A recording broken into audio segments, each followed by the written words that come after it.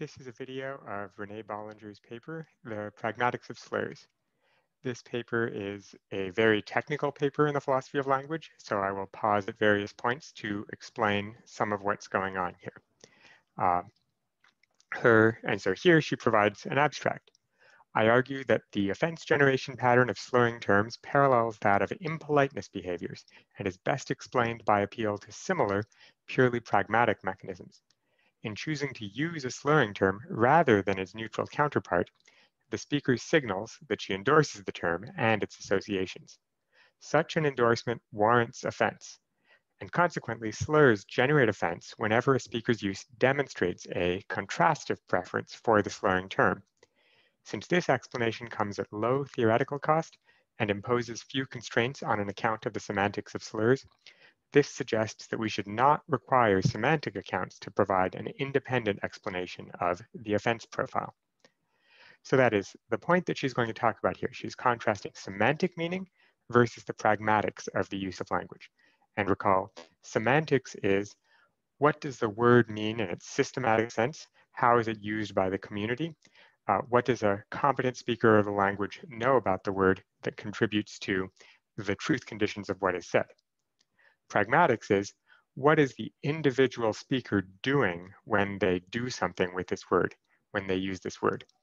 And uh, again, the classic contrast is if you ask the question, uh, could you pass the salt? Semantically, you are just asking a question, but pragmatically, you're conveying your interest in someone's ability to move the salt and therefore suggesting to them that perhaps them moving the salt might be of your interest and therefore perhaps indirectly making a request. And so what Bolinger is going to do here is that she's going to argue that uh, some accounts of the meanings of slurs have focused on the semantics. What is the meaning of the slur? How do we explain some of the features of its meaning? And she's trying to do something different.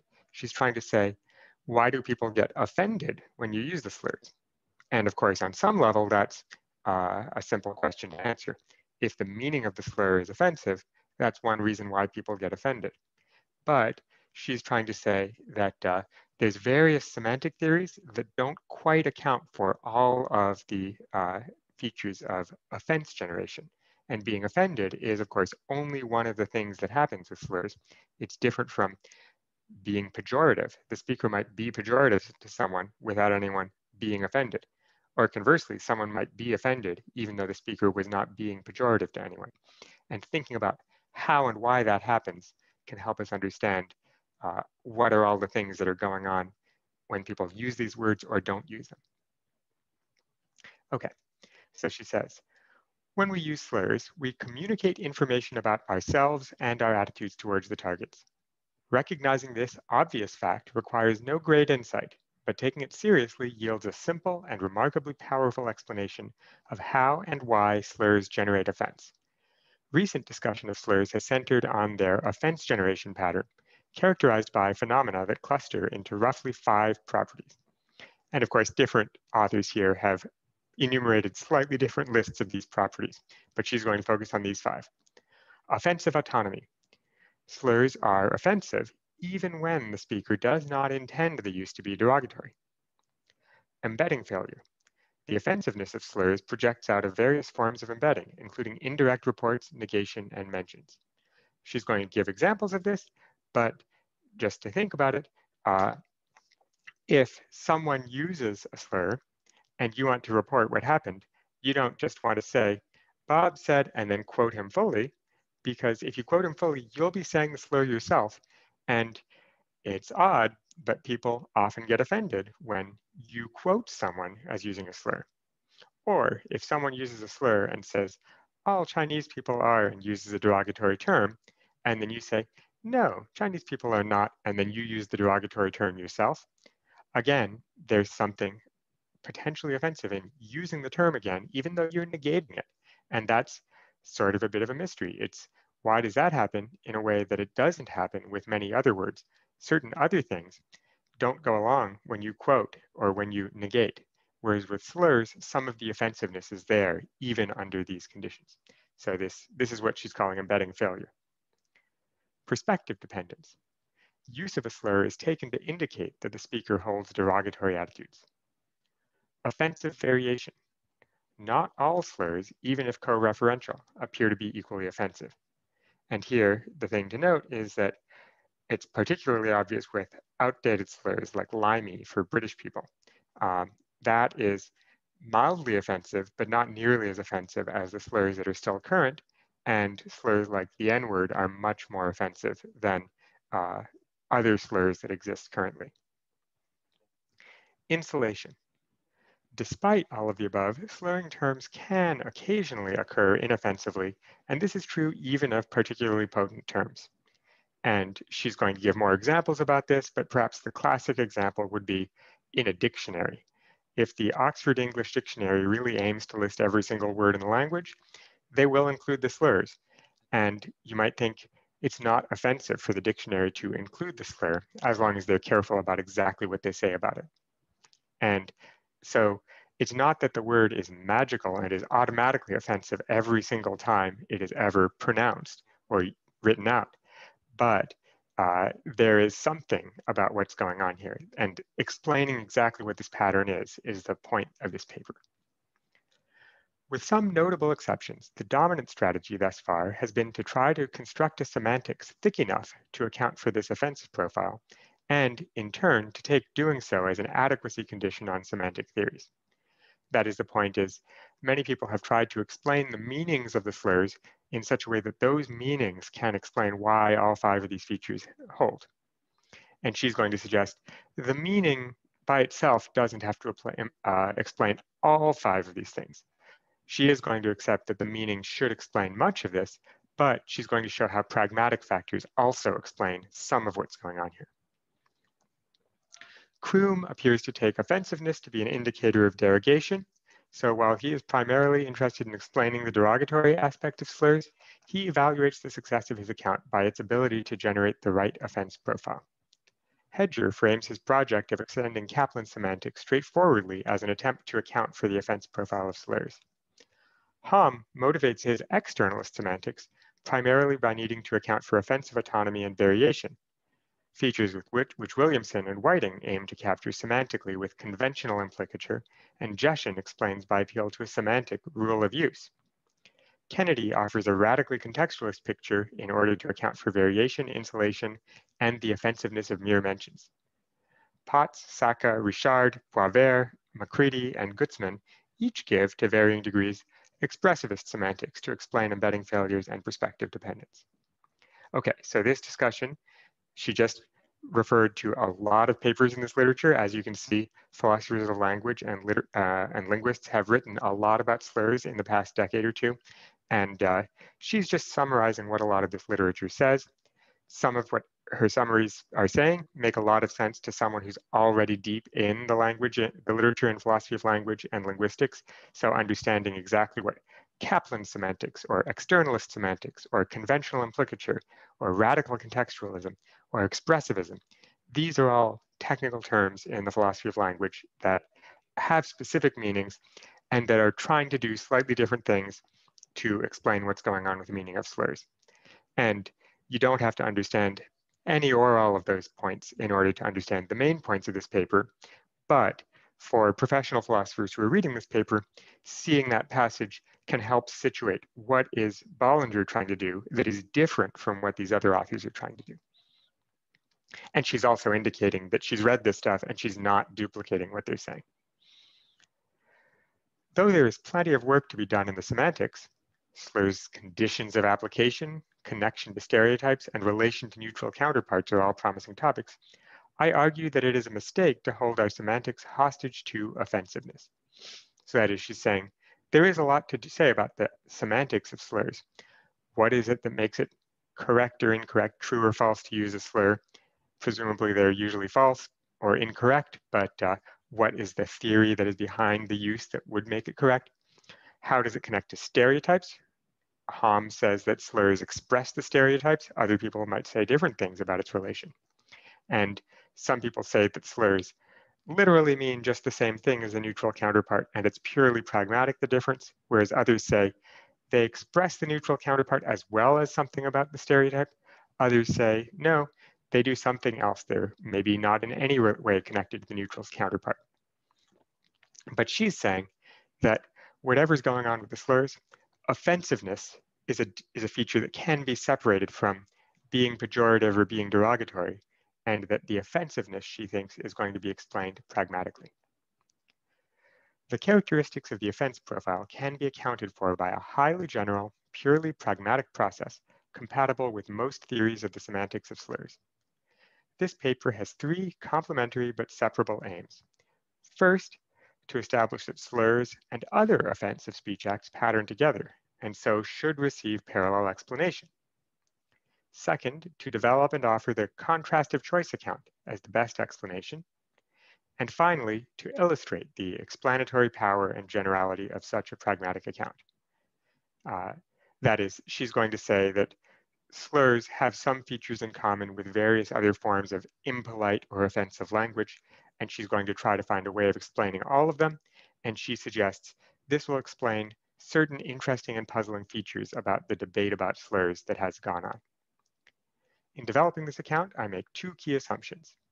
A, slurring terms are marked as the dispreferred option for achieving reference to the target group. B, they are associated with the derogation of their targets. And some of this might be not obvious, but some of it is technical vocabulary. Dispreferred versus preferred is a term that linguists use very often, and marked versus unmarked is also a term that linguists use very often. And the idea is that uh, there are certain terms that are the default ones that we tend to use, and others that are marked that stand out in one way or another. And uh, some terms are the ones that we prefer, others are the term ones that we disprefer. And again, linguists use all this even in just discussion, discussing relatively neutral things about nouns and verbs and so on, but uh, uh, it is going to have obvious applications here. A is relatively innocuous, requiring only that competent users of the language be aware that slurring terms are not polite, a typical requirement for competency with respect to slurring terms. That puts it very mildly. B intentionally leaves open the question of whether this association is achieved semantically or otherwise.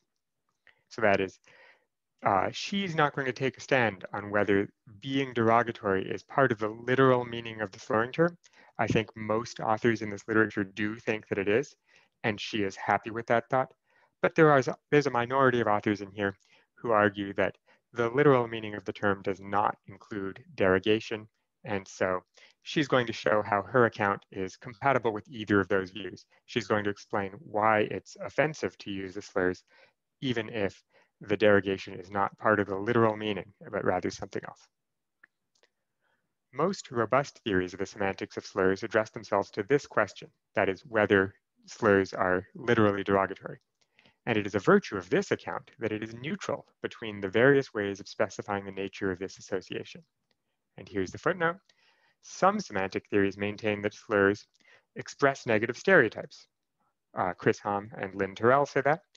Or it expresses negative attitudes. Chris Potts says that. Some say that it doesn't literally express those things, but it conventionally implicates derogatory attitudes or contents. And that's Timothy Williamson and Jennifer Whiting. Or maybe it semantically encodes contempt, perhaps via a rule, a rule of use. And this is what Robin Jeshion says or it represents the target as contemptible. This is what Mark Richard says, and perhaps many other inferentialist accounts. These conditions can also be met by minimalist or primarily pragmatic theories, such as the one advocated by Jeff Nunberg. Okay, again, you don't need to know the details of all those things. You can look them up. If you get the actual paper, you can see its bibliography and find all of these papers if you want to read and learn more about what philosophers of language and linguists think about the meanings of slurs. And also, if you look through those papers, they investigate a lot of cases and they show how complicated the, uh, the topic really is, but they also show what can be done systematically to talk about these things. And part of what's going on is that all of these people are committed to the idea that there's something systematic to be said about this. Language isn't just a mess with each person making it all up as they go along. All of us learn the meanings of language in a systematic way combine it using systematic rules, and interpret each other with these, uh, these systematic rules that we don't make explicit, but we implicitly already understand. And again, this all goes back to the idea that uh, almost every sentence that you ever say or you ever hear is one that has never been said before and will never be said again, and yet people manage to understand each other. And so something systematic has to be going on to explain how that's possible. And note that the same thing happens with slurs. People recognize when they're offensive and recognize some of these other features when they happen. In the process of developing this account, it will be necessary to mention a number of potent slurs. And note that when she says mention, she's contrasting mention with use. This is a contrast that philosophers have talked about throughout the 20th century, that sometimes you use a word when you're talking, but sometimes when you're quoting someone else, you are mentioning the word, but you are not yourself using it. And, uh, uh, and she notes that with slurs, even mentioning them often generates some of the offense. I have tried to keep this to a minimum, using the terms directly only where required to elicit clear judgments or give illuminating examples. And that's just to note, this is a warning. The terms do come up, not as much in some of the as in some of the other papers in this literature, but they are there. So uh, if you've ever been a target of these terms, you might want to make sure that you're well-fed, well-rested, in an emotionally happy place when you're reading this paper. The status of the slurs mentioned in academic work is an interesting question. So in section 5.4.2, I trace the implications of my account for such occurrences. And this is an interesting thing that she does. She is explicitly considering the question, what should philosophers be doing when philosophers talk about this? Because the words come up when you're talking about this and not just if you're a racist out in the wild. Section one sets up some necessary preliminaries by examining the nature of the offense the account attempts to explain. Section two reviews the central data to be accommodated concerning the offense generation patterns of slurring terms. And section three examines some parallel data for impolite and rude speech. In section four, I develop and apply the contrastive choice account to explain this data. Section five summarizes the account's ability to explain the target pattern of offense generation. Finally, section six showcases the theory's predictive power and generality by extending it to explain the insulation pattern of slurs which occur within works of fiction and theater.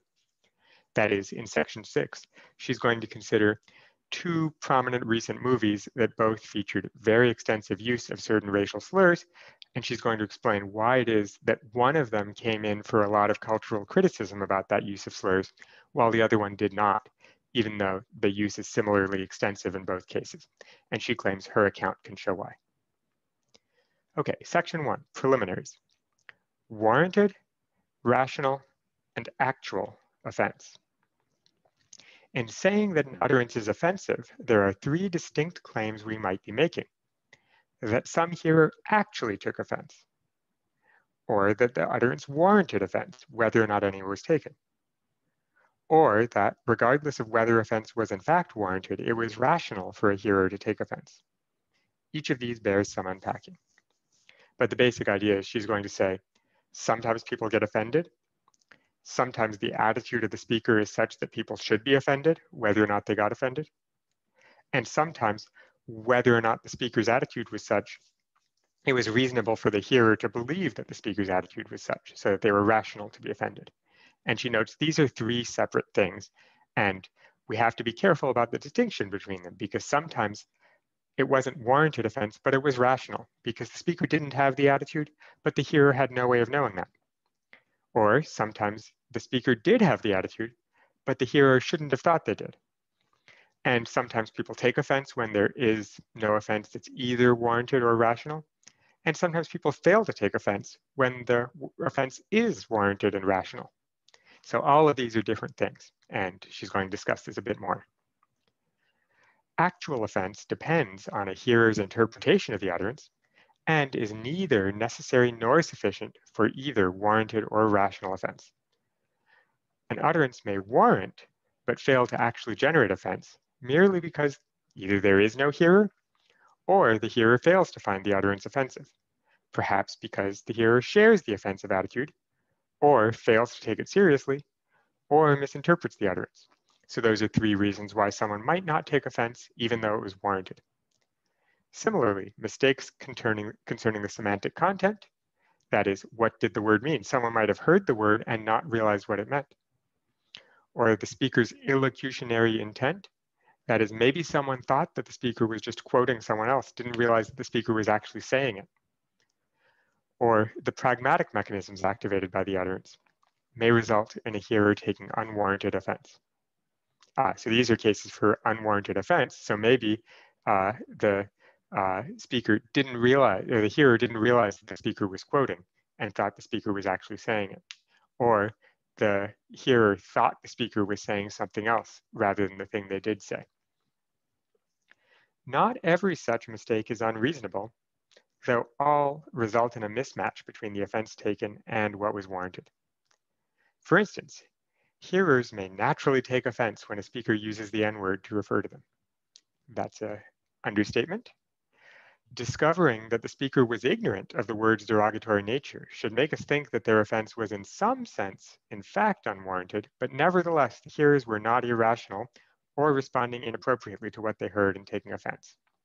So that would have to be something like, I guess I could imagine some non-native English speaker who uh, has picked up English from reading 19th century literature might use the N-word without realizing just how offensive it is. It's hard for me to imagine what's going on there, but something like that could occur. And in that case, the hearer would be rational to take offense, even if it turns out it was unwarranted because the speaker just really didn't know what's going on with that word. Since hearers may be subject to a variety of sources of uncertainty concerning the level and degree to which offense is warranted, e.g. they may be unable to discern a speaker's intentions or might be unfamiliar with the term used, let us use expected value of W for the offense the hearer has reason to believe is warranted given her evidence. So here, expected value is, this is a term that comes up from Bayesian epistemology and decision theory that involves probabilities uh, where you don't know what exactly is going on in the speaker's head, but there's a bunch of things that might be going on. And maybe you think two thirds chance this person doesn't know what's going on and just picked up this word from 19th century literature, but one third chance they do know what's going on and they mean it. In that case, the expected value of how offensive it is, is about a third of how offensive you would think it would be if the person really intended it. And, uh, and so she's not going to do any of these probabilistic calculations, but that's where this term expected value comes from. In what follows, I will use rational or licensed to indicate when the hearers are epistemically justified in taking offense, that is on the basis of the information they have, and reserve warranted for morally justified offense, and that is on the basis of what's actually going on in the speaker's head and how uh, bad the speaker is being. So warrant is about what's going on on the speaker side. Rationality is about what's going on on the hearer side. That is at least in this paper for Bolinger. Offense may be either by taking more offense than is warranted or by failing to take offense when warranted. On the assumption that rational hearers ought to proportion their offense to the severity of the offensive action, adjusted for their confidence that the action in fact occurred, we may say that a level of offense is rational when it is appropriate given the hearer's evidence. Though warranted offense is the primary focus of the paper, the notion of rational offense helps clarify some of the murkier intuitive data and will equip us to evaluate the contrastive choice accounts predictions of actual offense patterns insofar as they are rational. Of course, some people will not be rational. Some people will irrationally fail to be offended. Some people will irrationally be offended. But Bolinger's main idea is that most people are being roughly rational in their offense patterns, and we can explain what's going on, why they are more offended in some cases, less offended in others, by thinking about all of these things that are going on.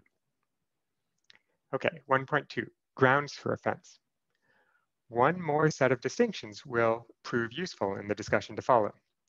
There are three identifiable grounds on which an utterance may warrant offense. Intention, inappropriateness, and its associations. utterances may be and often are offensive on multiple grounds simultaneously.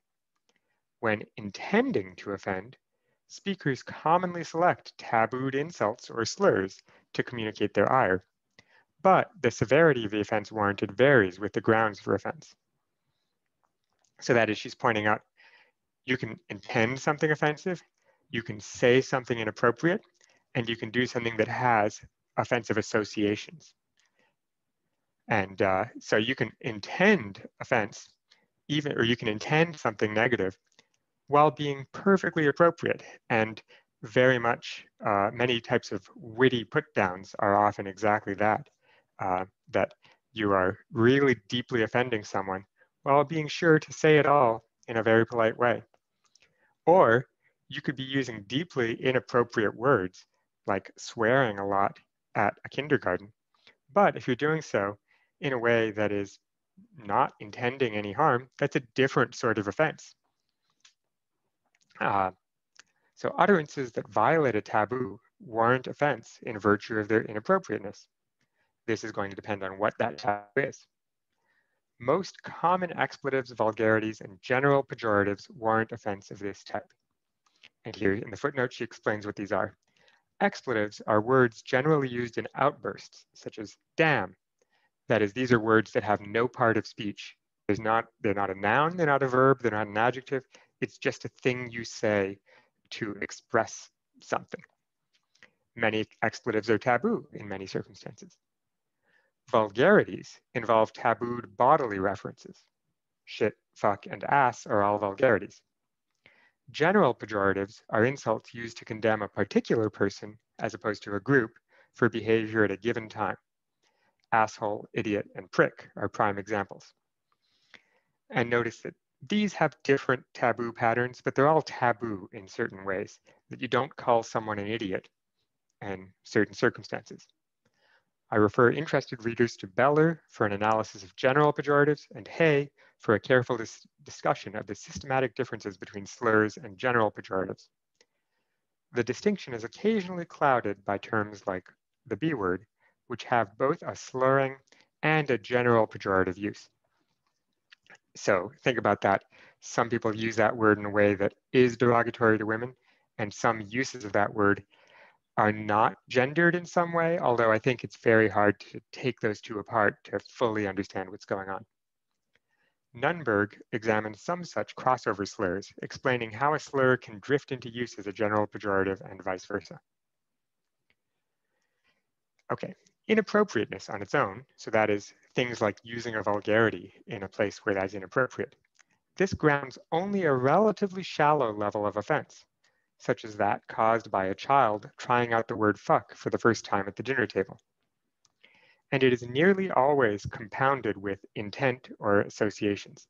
So that is, most of the time, when someone says something inappropriate and it's offensive, a, a, significant part of the offense is not just the inappropriateness, but also what the person intended or what else was associated with it. And uh, here, footnote nine, Anderson and Lepore, who have a couple papers on this, they should be happy to allow this since on their account, the institution of a taboo subsequently associates the use of the tabooed term with flagrant disregard for the wishes of the targeted community. And this disregard does the heavy lifting in their explanation of slurs offensiveness. So they're talking about slurs. I don't know the details of their account, but basically what Bolinger is saying is going on is that the mere fact of saying a curse word in a place where a curse word is taboo causes only a minor level of offense. But if you say the curse word in a place where it's taboo, and then someone points out that it's taboo, and then you continue doing it anyway, you have then revealed another further intention to continue violating that taboo. And that generates extra offense beyond the mere offense of generating the taboo. And just as another example of this, if you step on someone's toe that's a bad thing. You shouldn't have done it. But people generally don't take too much offense at you having stepped on their toe if you do it once. But if you keep stepping on their toe over and over again, then they'll take very strong offense and with good reason. And so there, it's the difference between doing the thing that was inappropriate, stepping on someone's toe or saying this word, and showing that you have this bad intention. Speaker intent is the most general warrant for offense. Any phrase may be used to offend if the intention to do so is clear. And just think about any example from Grice, where he says, where even just saying someone has good handwriting can be extremely offensive if you're doing so in a context where you're supposed to say the nicest thing that you can imagine about a person. Saying that if saying that they have good handwriting is suggesting there's nothing else nice about this person. That's very offensive, even if strictly speaking, what you said is nice. However, this speaker intent is inadequate as a full explanation of the offensiveness of slurs since it cannot explain why a slur offends despite a speaker's good intentions. For that, we must appeal to the term's offensive associations. Associational offense, so this is one I haven't talked too much about yet, this exhibits huge variation dependent on the severity of the association. Terms, phrases, or symbols that are closely associated with abhorrent attitudes or practices warrant the sort of deep offense commonly exhibited by slurs. The symbols of a swastika or a burning cross belong to this category, as do terms that have come to be associated with various forms of racism, sexism, or more generally with a threatening program of discrimination against members of some group targeted by the term. And notice the swastika, that word swastika comes from Sanskrit because that symbol is just a traditional symbol of the sun, I believe, in uh, certain Hindu religion. Uh, but in the West, that symbol has come to be so strongly associated with the Nazi regime and its genocide that, uh, that the symbol is now offensive just by that association, even if uh, you're, uh, you're only intending to use it in a representation of uh, uh, traditional Hindu practices. Now, maybe within a Hindu temple, it'll still be insulated, but you wouldn't want to wear some of that in, uh, in other places in the West. Elements of this category are often the subject of hate crime legislation and singled out for their power to provoke their targets. So this is the sort of thing that in France and Germany, it is illegal to own Nazi memorabilia. It is not necessary that such terms be associated with or backed by formal social institutions, though they often are, just so long as there is an adequately visible practice associated with the terms.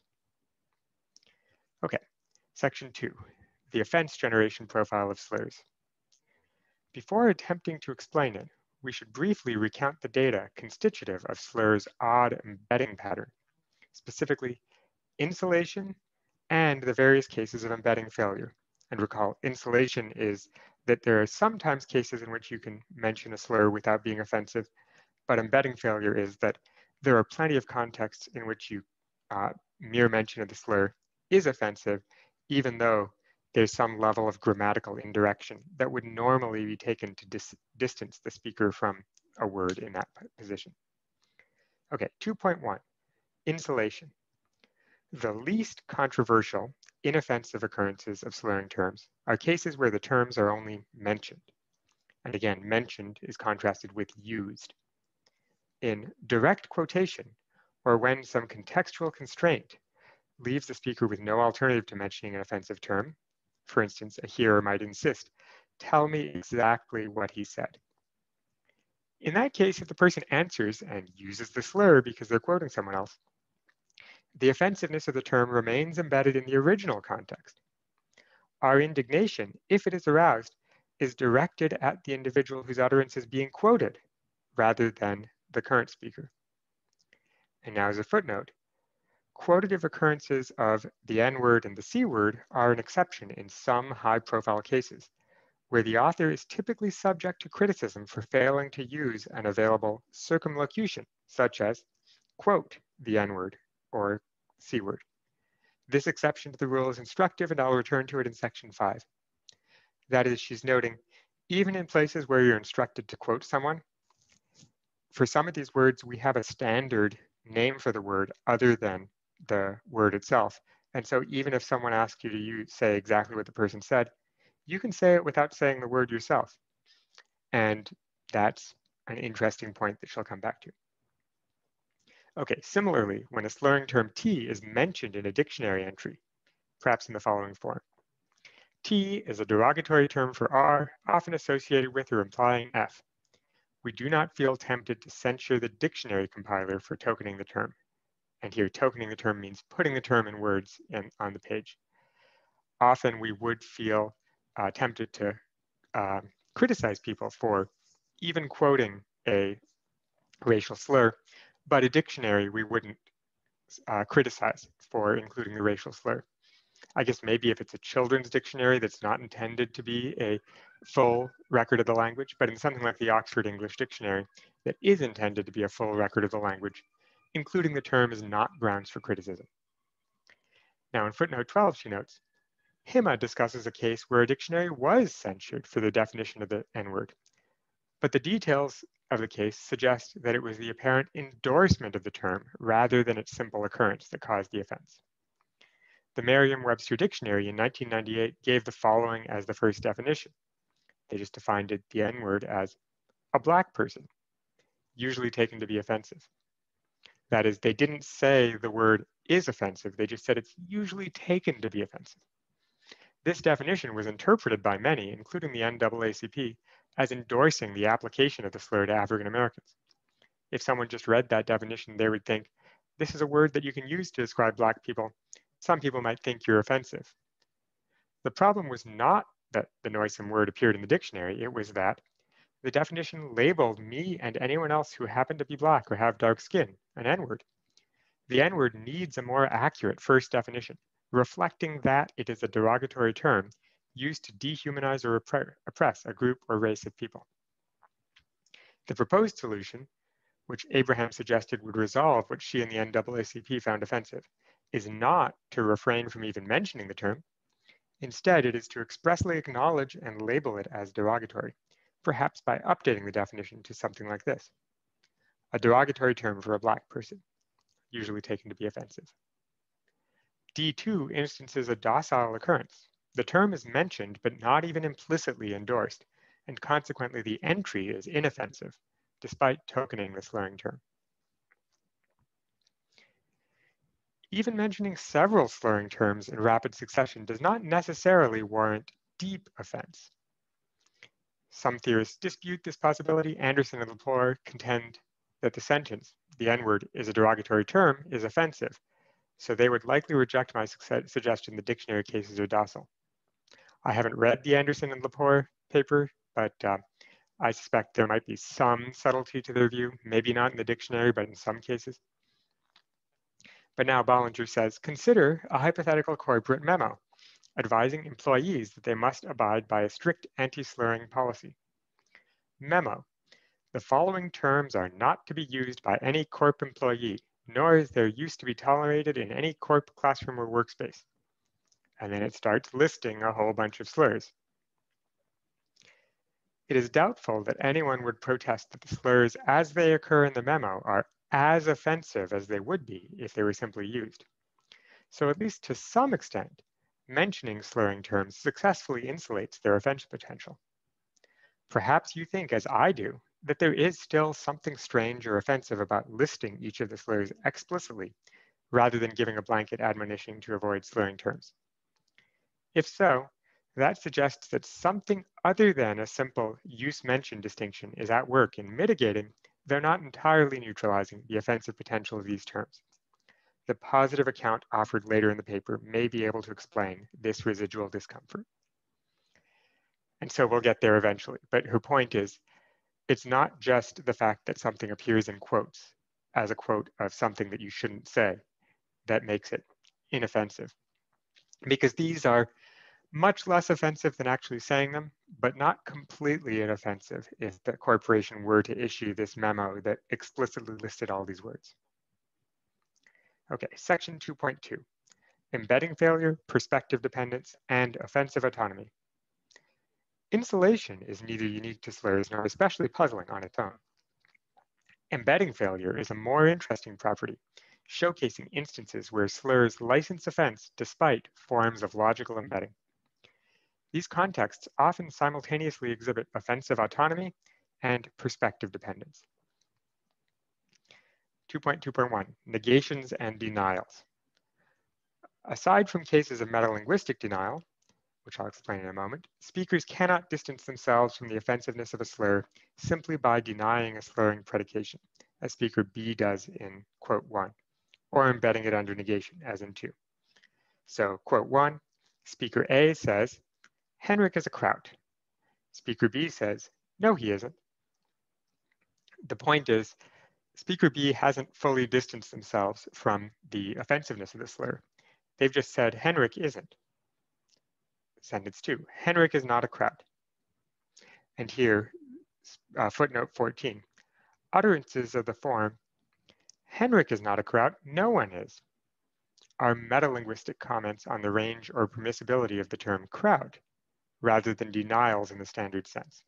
So that is, at least sometimes when you, uh, when you say deny something, you're not denying that the property holds, you're denying the word. So uh, for instance, someone might say, this isn't good, it's great. Normally, this isn't good means something is not good. But saying this isn't good, it's great, is saying good is not the appropriate word to use for this. So it's metalinguistic. You're talking about the word, about the language. And she's saying, at least sometimes people are talking about a word and when they negate.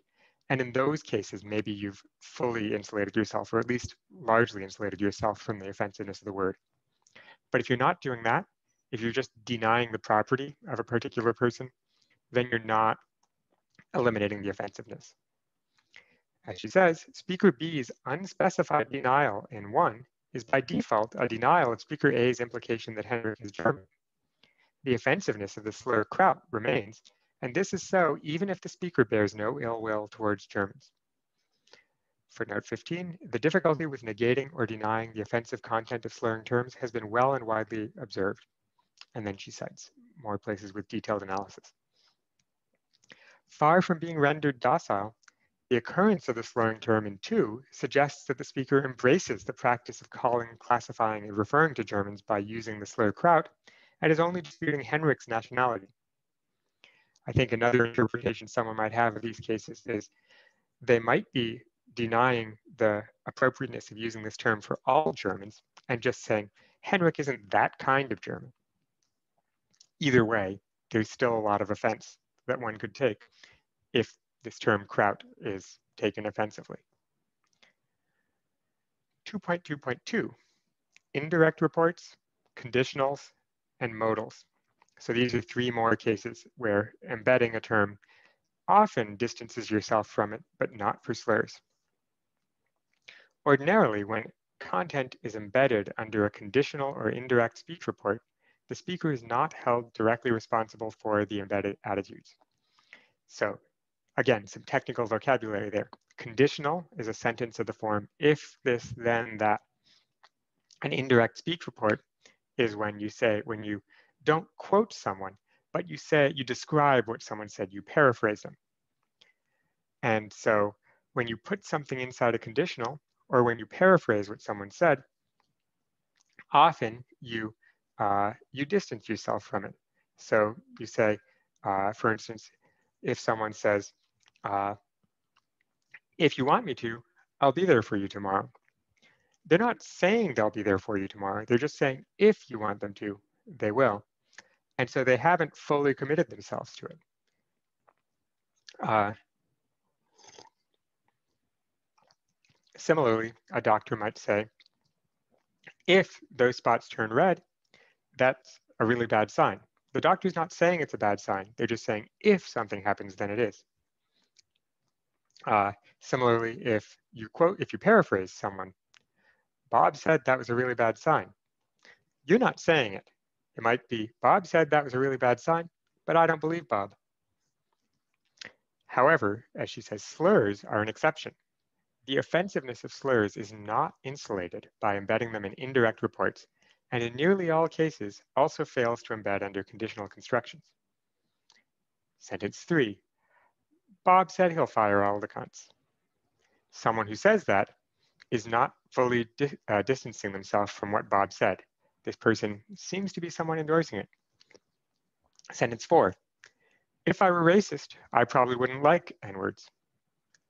Uh, and uh, uh, sentence five, a less enlightened man than myself, a cruder man than myself, a man less sensitized to the qualities and charms of women.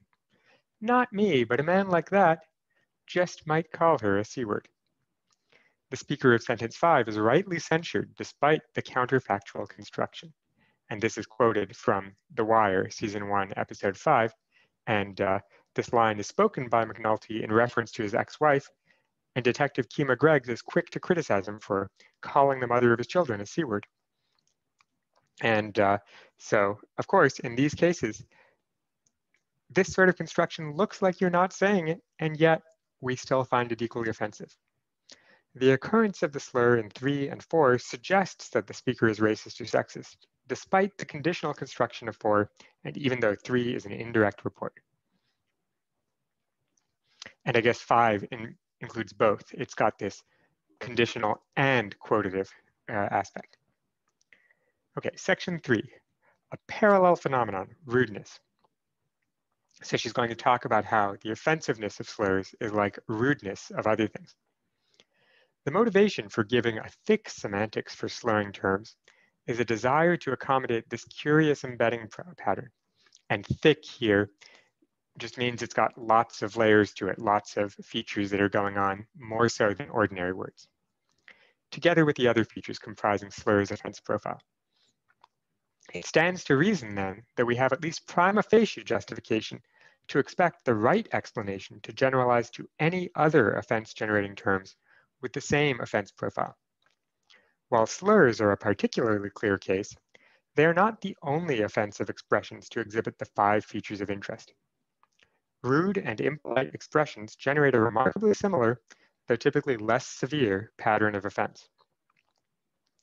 Absent a good argument in favor of treating slurs as sui generis, that is, of their own kind, sui is their own, generis is kind, or of a kind, uh, a good argument in favor of treating slurs as sui generis, absent a good argument in favor of treating slurs as sui generis among offensive expressions, the account we use to explain the offensiveness of slurs should generalize to rude expressions and vice versa.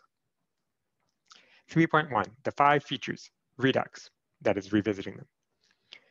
Chris Potts gives a careful discussion of rude terms, vulgarities, expletives, or general pejoratives, noting that the expletives and general pejoratives are perspective dependent. The attitudes conveyed by the expressions are assumed to be the speakers. So six, Herman believes that Hella's damn dog is dead. Seven, Sue believes that that bastard Kresge should be fired. In both of those cases, people assume that the negative attitude belongs to the speaker of six or the speaker of seven, rather than to Herman or to Sue, even though damn or bastard is inside the someone believes that. And here in, sex, in sentence seven, she even gives, Sue believes that that bastard Kresge should be fired and considers this follow-up I think he's a good guy. That hashtag symbol in front of it is a term is a symbol that linguists often use. They they have a bunch of symbols for marking which sentences they're quoting that seem good and which ones that seem bad. An unmarked sentence is considered to seem good. An asterisk in front of a sentence usually means it's grammatically incorrect. I would never say that. Um, a hashtag in front means it's grammatically correct, but it doesn't make any sense in this context. So here they're saying, Sue believes that that bastard Kresge should be fired, but I think he's a good guy. And that seems like a really weird thing to say because why would you say Sue believes that that bastard Kresge should be fired if you think he's a good guy? You wouldn't use that bastard Kresge. So six conveys that the speaker of this sentence holds Hella's dog in low regard, and the continuation in seven is infelicitous precisely because the earlier perspective, according to which Kresge is a bastard, is assumed to be the speaker's. Angelika Kratzer points out that with enough priming, we can get pejoratives like the ones in nine, uh, which I guess we haven't seen yet, uh, to attach to a perspective other than the speaker's. But these contexts are quite difficult to evoke and are at best unclear whose perspective is being expressed. So that is, in, I think maybe that was a mistake for seven. In sentence seven, Sue believes that that bastard Kresge should be fired. If you set that up with enough background, Sue is constantly calling him that bastard Kresge. I'm just going to quote Sue. Sue believes that that bastard Kresge should be fired. If I say that, maybe I'm not uh, uh, endorsing that expression, but we need a lot of buildup for that. By default, this word is taken to express my uh, uh feelings and not just the feelings of the person who uh, is mentioned earlier in the sentence. Rude speech is perspective dependent, even when the expression used is unmarked and impolite or rude only due to contextual features. So here's the example.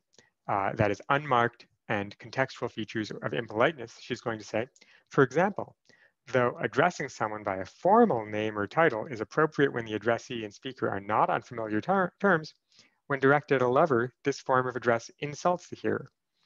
That is, if, uh, uh, if you're a customer service representative, it would be fine to say, okay, Mr. Smith, uh, can you tell me what the problem is? Whereas if you're addressing your boyfriend and you say, okay, Mr. Smith, can you tell me what the problem is? You are distancing yourself from your boyfriend by calling him Mr. Smith. The insult is immediate and is assumed to reflect the perspective of the speaker, since by using a form of address appropriate to distant and formal relationships, rather than one appropriate to close personal relationships, the speaker gives the hearer warrant to believe that the speaker considers their relationship to more closely resemble the former than the latter.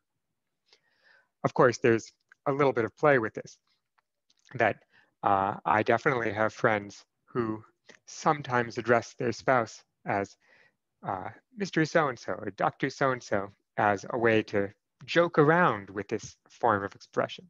But, uh, but it's clearly joking and that clearly relies on the multiple levels of uh, distance, appropriateness, formalness, informalness, markedness, and unmarkedness of the expressions. Addressing someone as Mr. So-and-so is unmarked when you're talking to a stranger, but it is very marked when you're talking to a friend. And, uh, uh, and so it's drawing attention to itself in these different ways. Rude expressions also exhibit embedding failure in conditionals and indirect speech reports. In sentence eight, the speaker appears to endorse the appropriateness of the description of all this as shit, even though he ascribes it to Bob. And if we're offended by that, the offense is not lessened by the embedding. Eight, Bob said he was done with all this shit. Nine, if he doesn't shut up, that motherfucker is going to get a ticket. Similar comments apply to the general pejorative in 9, despite its conditional construction. So in both of these cases, the speaker of the sentence is the one who is using this shit or that motherfucker. It's not just being attributed to the other person unless you literally put it in quotation marks. Unsurprisingly, rude expressions also possess offensive autonomy. They cannot be rendered inert just by a speaker's ignorance or assurance, assurances that she means no offense, or even actual absence of offensive intent. In ordinary contexts, an utterance of, you motherfucker, signals aggressive rudeness, a signal that cannot be canceled by simply appending, no offense, or I don't mean to be rude. Even if the speaker is unaware that the expression is marked as rude and employed it only to express generalized frustration, that fact does little or nothing to reduce the rational offense licensed by the utterance. That is, even if I use that term all the time to talk to my friends, if you don't know that, you would be perfectly reasonable in thinking I was being offensive by calling you a motherfucker. Similarly, speaker intent exacerbates but is not necessary for offensiveness. It is possible to be offensively rude or impolite without even being aware that you've done so. Nevertheless, in specialized contexts, the expressions can be successfully insulated. In familiar, informal interactions where all parties are aware that normal signaling relations are suspended and the speaker intends no rudeness, the very same expression, you motherfucker, can be used to signal intimacy rather than rudeness. Finally, and perhaps most obviously, there is considerable variation in the level of offense licensed by different rude expressions formulas associated merely with disrespect, e.g. that moron, nutcase, idiot, are less offensive and tend to be less inflammatory than those associated with aggression. You motherfucker, cocksucker, goddamn idiot. I'm not entirely sure what the difference is here between the ones that are associated with disrespect rather than aggression, but there's definitely something about the associations of these, that some of these are associated with milder uh, circumstances, some of them are associated with more aggressive circumstances. Given these parallels, we have strong reason to want our account of the offensiveness of slurs to parallel our story for rude speech. This provides not just a constraint on theory selection, it also suggests where to go looking for a promising account. 3.2, accounting for rudeness, co-occurrence expectations. Though they use different terminology, theorists explaining impoliteness have primarily focused on accounting for offensive autonomy, variation, and insulation. Those are three of the features that she's mentioned for slurs. Recent work on these three aspects of the offense profile of impolite behavior has converged on pragmatic explanations invoking the contrast between a speaker's chosen performance and her relevant alternatives. That is, you said one word even though other words were possible. And the contrast between this word and the other words is what's doing the offense, not this word itself, but the contrast between the options. I'll briefly gloss the work of two such theorists to draw out the structural similarities of their accounts, then argue that they illuminate a deeper connective thread, which explains not only the features of interest to impoliteness research, but can be generalized to explain all five aspects of the offense profile of both impolite behavior and slurs, and furthermore allows us to predict when offense will occur if rational. Marina Terkourafi offers a frame-based account according to which expressions are associated with politeness or impoliteness in virtue of the regular co-occurrence of particular types of contexts in these particular linguistic expressions. For note 25, a frame is a holistic representation of a context type which tracks co-occurrence of linguistic expressions on the one hand, and on the other hand, a variety of non-linguistic elements, including social contingencies, speaker's intent, and the setting and history of the interaction. To put that more understandably, uh, a frame is so holistic representation of a context type. That is, we are somehow understanding a bunch of contexts, uh, a bunch of types of word situations in which you might use words. And it tracks co-occurrence of things, that it, it tracks which things are attached to which other things. So uh, here, it's an association of linguistic expressions with non-linguistic elements. So that is, some words are used with in some circumstances, and other words are used in other circumstances. Some words are used by speakers with one intent, other words are used by speakers with a different intent. And uh, uh, some words are used in one setting, other words are used in another setting. So that is a frame somehow is this set of images or representations or whatever that the users of the language have in their mind that tells them which words are associated with which intentions, which words are associated with which types of people, which words are associated with which types of context, and so on. And of course, none of this is formally taught to people or formally represented, but we all have something like this going on in our head. And she says, co-occurrence expectations, that is the expectations of the hearer between who uses this word and who has which thoughts, arise from regularities between non-linguistic features of a context type and displayed preference for a particular expression over a semantically equivalent alternative.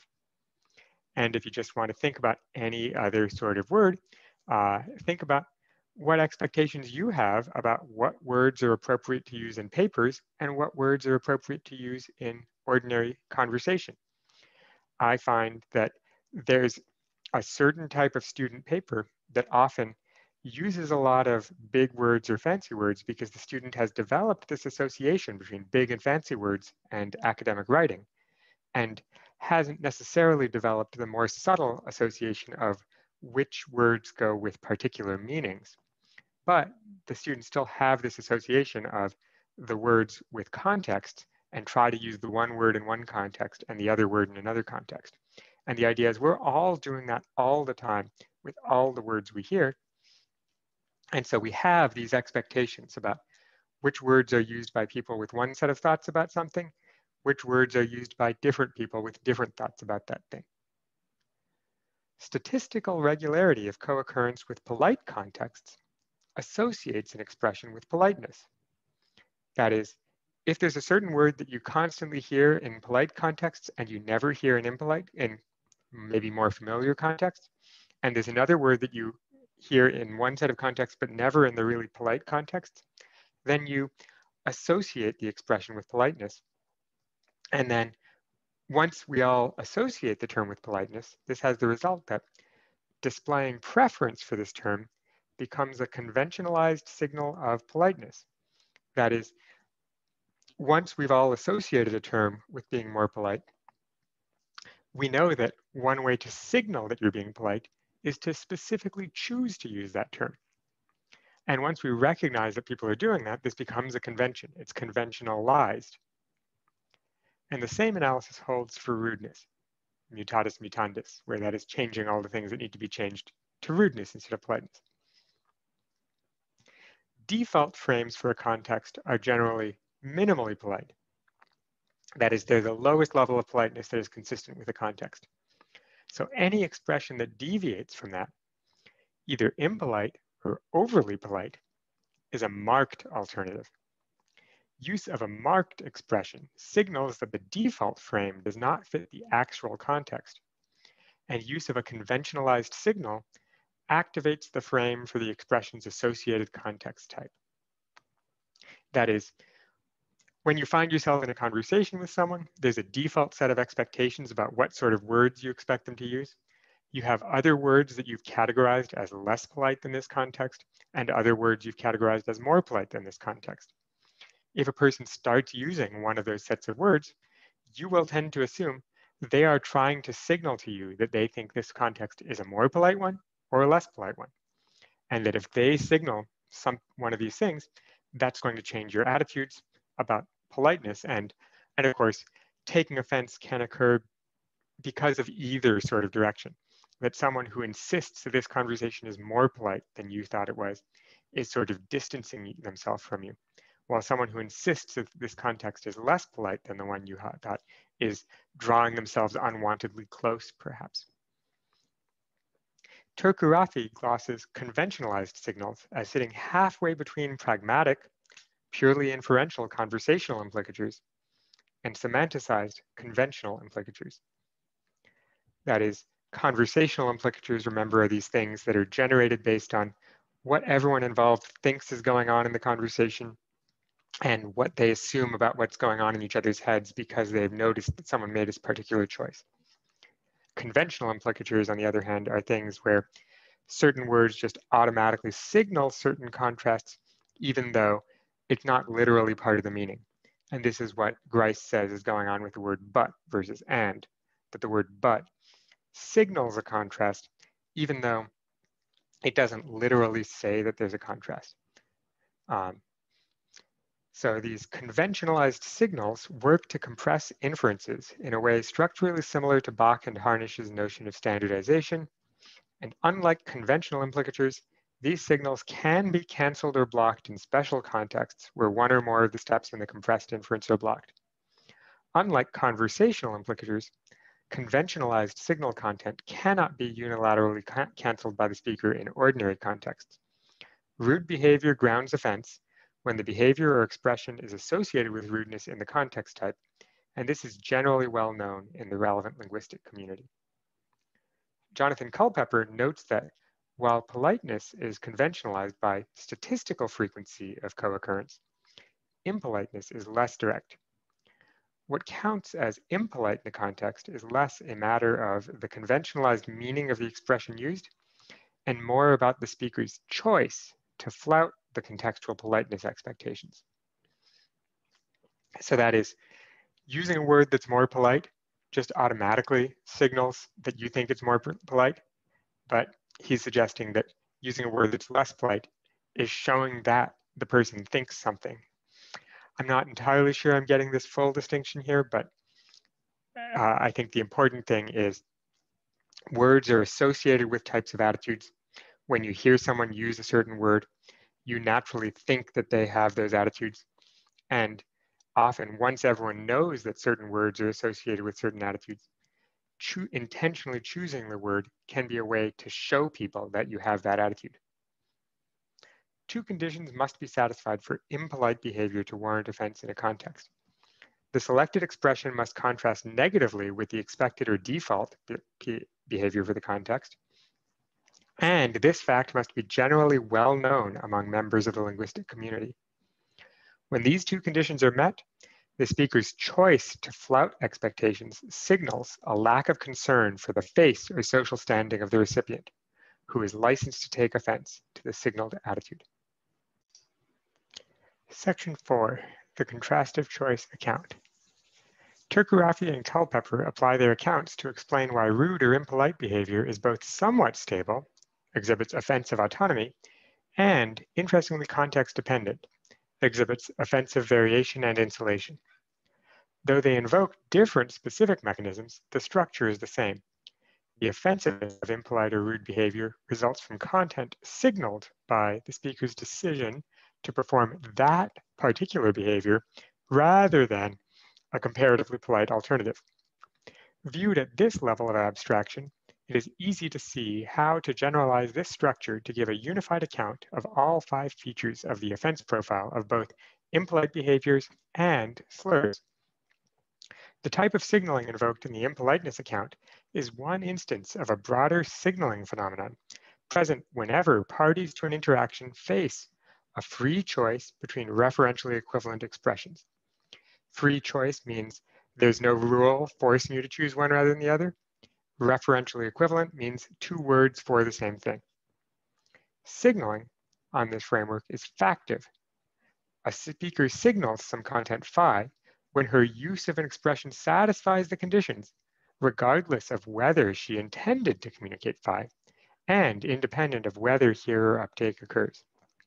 So what Bolinger is saying with that sentence is that signaling in this sense is actually like Grice's natural meaning, not like Grice's non-natural meaning. Remember, Grice says non-natural meaning is when the speaker intends that the hearer recognize the intent, whereas natural meaning is when there's just something that is in fact correlated with the thing in question. So smoke signals fire, regardless of whether anyone intends it to signal fire, and regardless of whether anyone recognizes it to signal fire it is correlated with fire, and, uh, uh, and so that causes this signal. And Bolinger is going to suggest that much of your choice of language is going to signal features about yourself, regardless of whether you intend it and regardless of whether anyone recognizes it. Okay. Section 4.1, signaling and contrastive choice. Speakers competent with a language have knowledge not only of lexical items and grammar, but also a set of co-occurrence expectations that encode the social norms and conventions concerning the use of various terms and ways of speaking.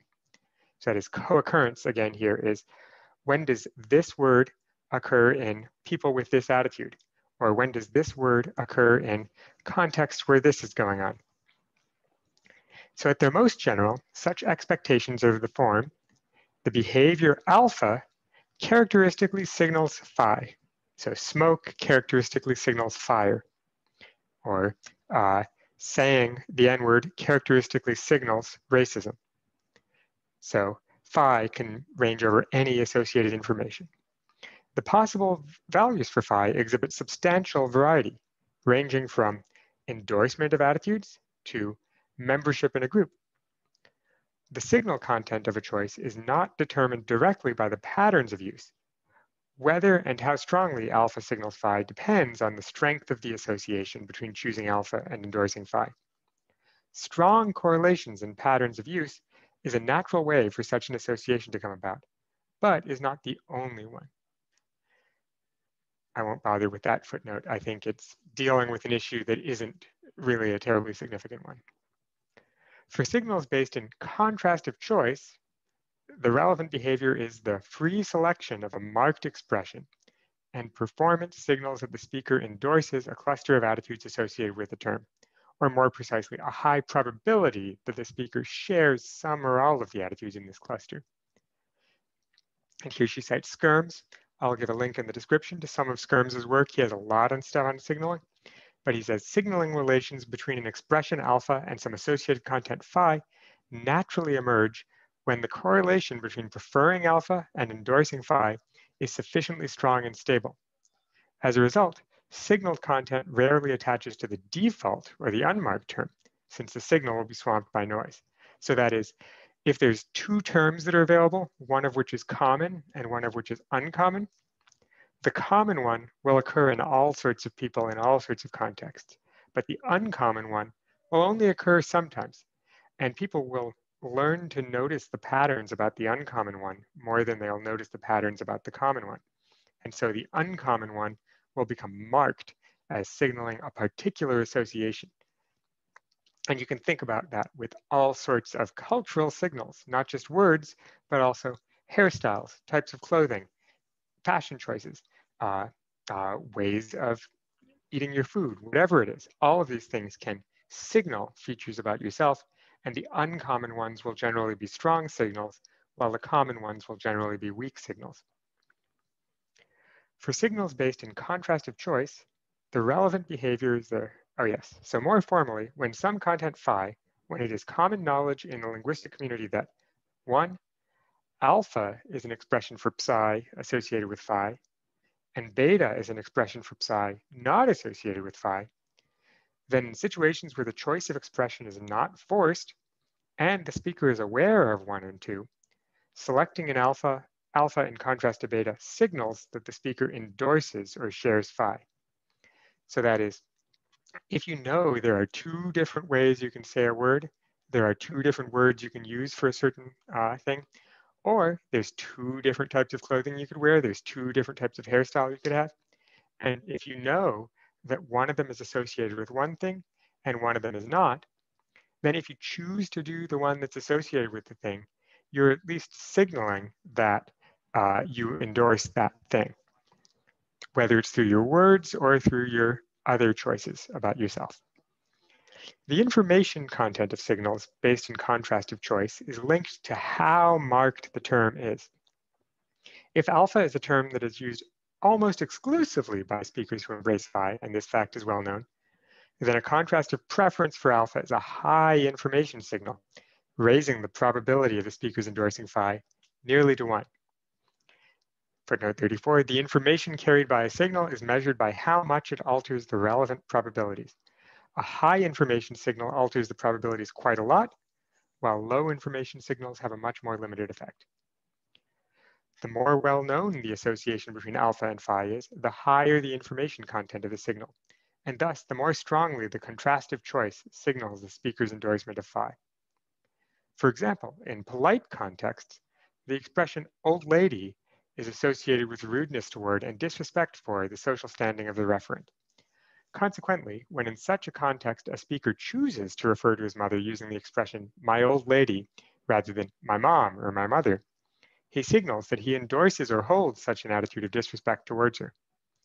Since this is an offensive attitude, his contrastive preference for the rude expression warrants offense in the context. This pattern extends beyond expressive or evaluative terms.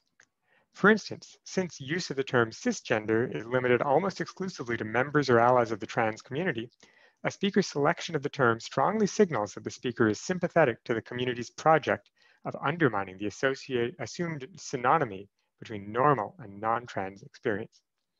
This information is not part of the semantic meaning of cisgender, nor can it be convincingly glossed as a conventional implicature of the term. Rather, the signaling relationship results from the particularly low probability of freely selecting the term while failing to hold such an attitude. So that is, since people don't normally talk about the concept of being cisgender unless they are aware of and care about the trans communities.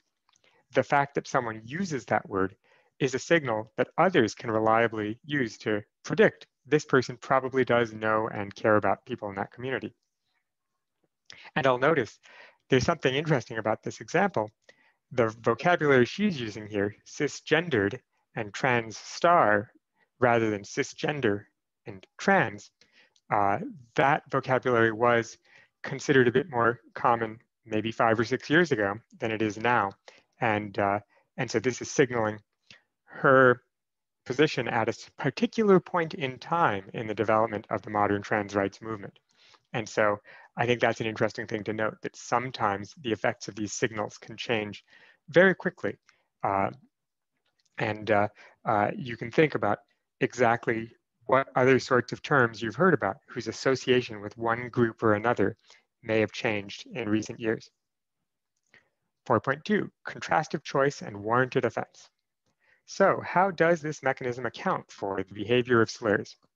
We've assumed that slurs are known to be dysphemistic, negatively marked, by any speakers competent with the terms, and are associated with the derogation of their targets.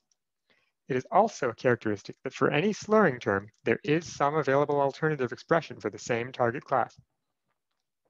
Where phi is the derogation or oppression of a class of people, offense is warranted when a speaker endorses phi. Use of a slur alpha rather than a neutral alternative beta is a defeasible indicator that the speaker endorses phi, but can be undercut by speaker ignorance or a forced choice. So that is, we all know that for all these slurs, there's both a slurring word and the non-slurring word. Everyone knows that the slurring word is at least associated with derogatory attitudes towards the target class. Furthermore, everyone legitimately takes offense when someone expresses derogatory attitude towards someone. So when a person chooses to use the slur rather than the non-slur, they're indicating their disassociation with the uh, with the derogatory attitude, and thus they are warranting offense because they're aware of this. So their choice to do so is a choice that they make knowing the consequences that they will be assumed to be derogating, and since so that means it's warranted, and it'll be rational for the hearer to take offense because it's reasonable to believe that the speaker has done this. But it's defeasible. It's only because the person has that choice. And if we know that the speaker doesn't have the choice, or it's only because the speaker knows that the term is associated with derogation. And if we know that the speaker doesn't know that, that might cancel this also.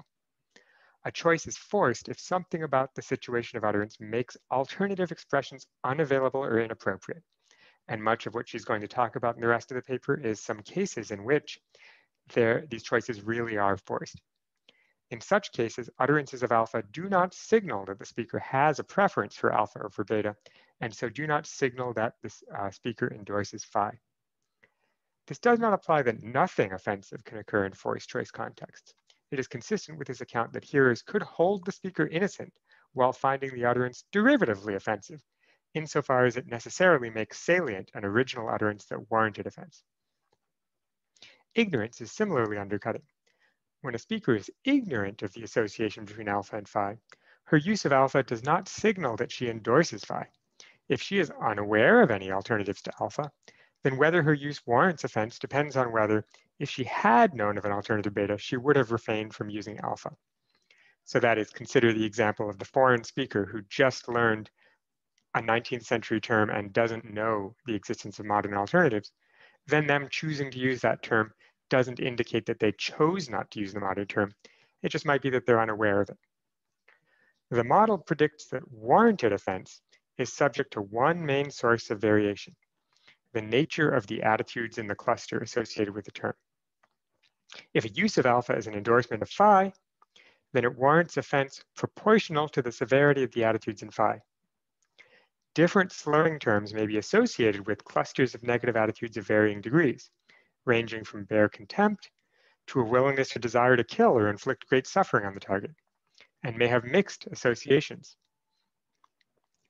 Footnote 36.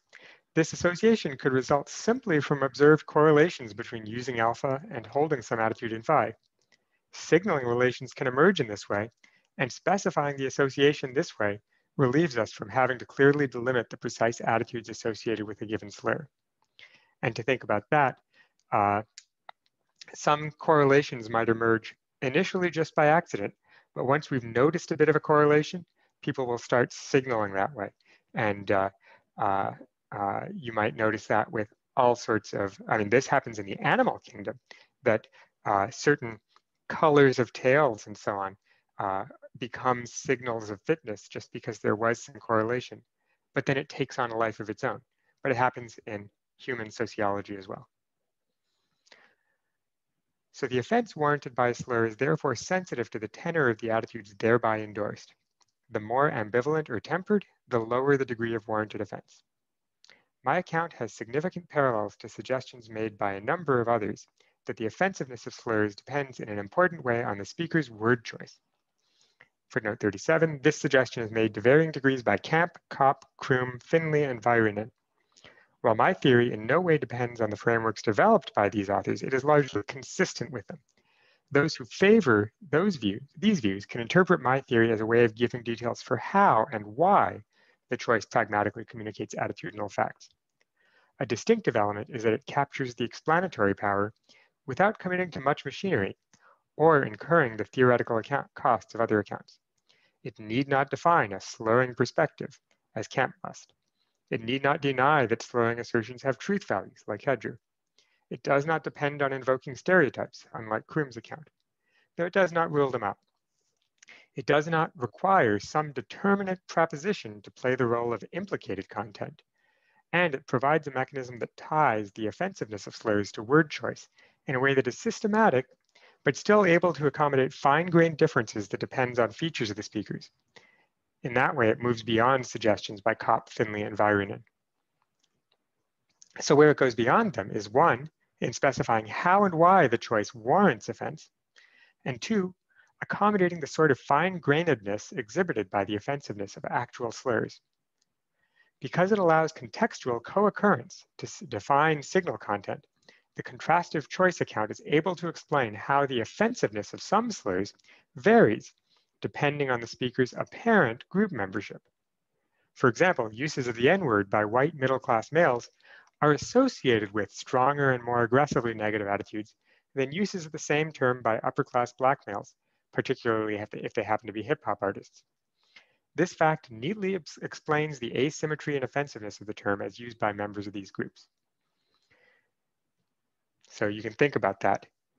What do you assume about someone when they use the N-word? Do you assume something different when you see that this person is a hip hop artist in a, a song versus when it is someone who doesn't have a certain other uh, associations? Does that make you think differently about the attitudes of the person?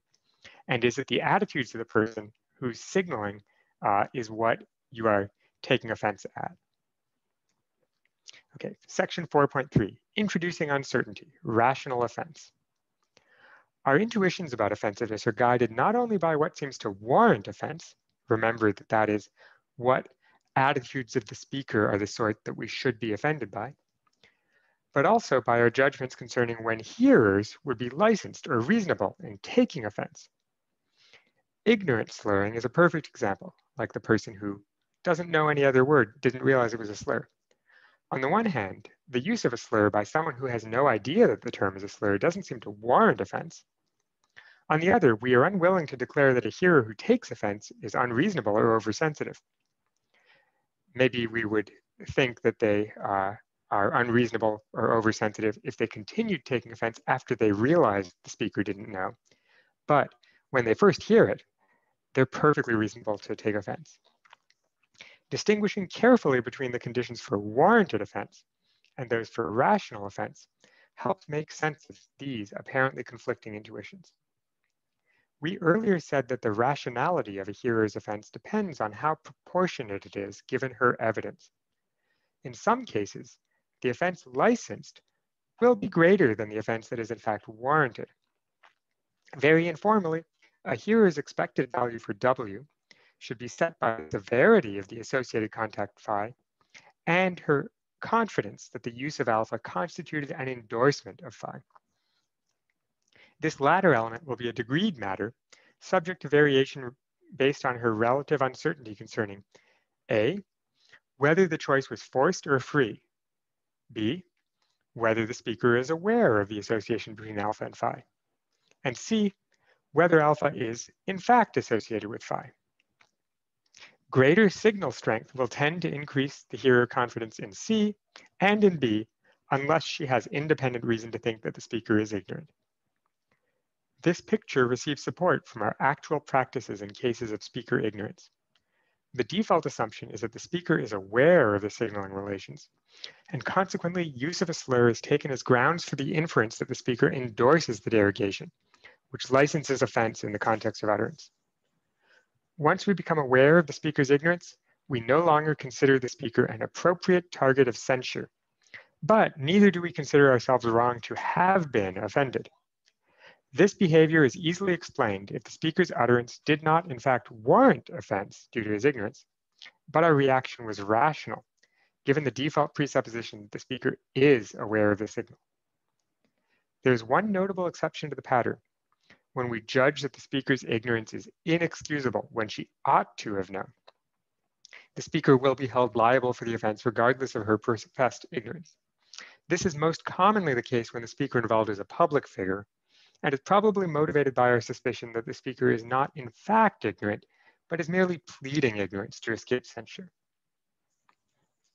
Section 4.4, limited languages. One might object that contrastive choice cannot explain the offensiveness of all slurs, since slurs may license offense even when there is no alternative expression. To motivate the worry, suppose that there were a language with only one expression, alpha, for a set of people psi, and either everyone in the linguistic community holds size in contempt, or the expression alpha is compositionally derogatory. Compositional means in virtue of the meanings of its parts we may imagine it translates roughly to swine that should be slaughtered or some other suitably threatening and contemptuous phrase.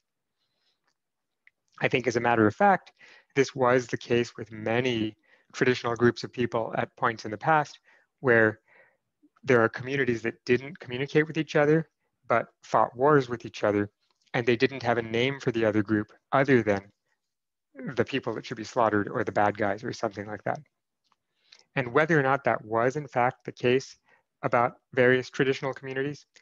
In many cases, the traditional languages have been lost to the sense, uh, to the extent that we don't know of any other words for these groups. And so as a matter of fact, there are certain indigenous communities of the Americas where the terms that we know for these communities are just the terms that had been used by other communities and were uh, did seem to be derogatory terms. So I believe Anasazi is a term that the Navajos used, and it just literally means the ancient enemies. And so modern anthropologists no longer use the term Anasazi when describing the people who built the Pueblo structures of uh, northern Arizona and New Mexico. They now just refer to them as the Pueblo people because even though that's a Spanish word and not an indigenous word, we don't know the word that that community used for themselves. And the only word we know of is the one from the Navajo language, which was in fact inherently a derogatory term. And we don't know if the Navajo had another term for those people that wasn't derogatory. But the claim is imagine a case like that, where there's only one word in a language for a group of people, and it's a derogatory term. In such a scenario, speakers have no alternative expression for those people, those psis. So if alpha is an offensive slur, its offensiveness cannot be explained by appeal to a contrastive choice.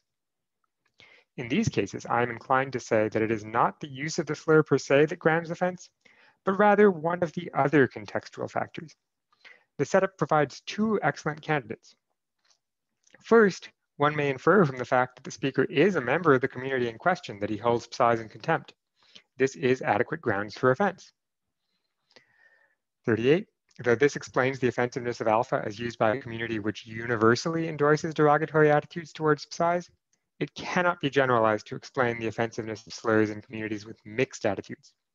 Either in such cases we depend on extra linguistic information, tone, gestures, etc., to distinguish the contemptuous speakers from the non-contemptuous speakers, in which case it's the term itself is not what's underwriting offense, or else an alternative term will emerge, when some significant minority of speakers reject the offensive attitudes, they tend to linguistically innovate, introducing new terms or expressions to achieve reference to psis without associating themselves with the dominant attitudes. These new terms are politically correct and function as overtly polite alternatives, strongly signaling the speaker's rejection of the dominant attitude. As use of these alternative terms becomes more widespread, the signal content shifts to negatively mark speakers who continue to privilege the original term. Second, it may be that the compositional content of the expression alpha amounts to an explicit endorsement of offensive attitudes, which warrant as much or more offense as using a slur, but without in fact being slurs. Footnote 39. Using a slurring term is of course not the only way to signal that one endorses the derogation or persecution of the target class. There could be a polite racist who scrupulously avoids using slurs while nevertheless endorsing offensive attitudes. He may do so by explicitly saying, I approve of the oppression, persecution, and subjugation of betas simply because they are beta. In such cases, deep offense will be warranted, though it will not have been generated by the use of a slur. In extreme cases, such utterances may be more offensive than if the speaker had simply used the slur. This is as it should be. While the use of a slur is strongly associated with endorsing some of the attitudes in the cluster phi, there is too much noise for any given use to signal which particular attitudes the speaker endorses. Specifically, the use of a slur does not reliably signal that the speaker endorses the most extreme such attitudes. If the use of a slur licenses offense by signaling, with probability less than one, that the speaker endorses offensive attitudes, then the explicit endorsement of the worst such attitudes, effectively raising the probability to one, should be expected to be more immediately offensive.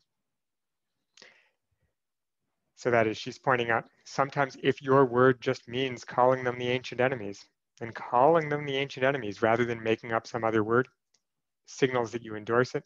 And also, calling them the ancient enemies may be a way of endorsing the attitude rather than just not talking at all. To eliminate this second explanation, we would need to stipulate that alpha has become idiomatic. That is, ancient enemy is just an idiom. It doesn't actually mean ancient enemy anymore but doing so makes it much more difficult to hear the term as warranting deep offense. Okay, section five, explanatory adequacy. The contrastive choice picture has a great deal of explanatory power, providing a coherent account of each of the major aspects of the offensiveness of slurs. 5.1, offensive autonomy.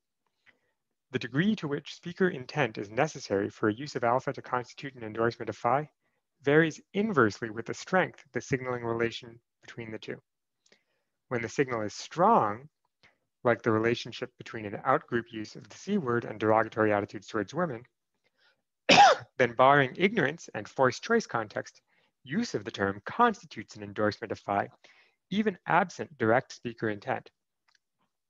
However, when the signal is weak, as is the case for the word chick and disrespect for women, then whether a given use is an endorsement does depend on the speaker's intentions. Offense will be warranted whenever a speaker's use of alpha constitutes an endorsement of the derogation of the target group. For the vast majority of slurs, the signaling relation between choice of the term and endorsing derogation is both strong and well known.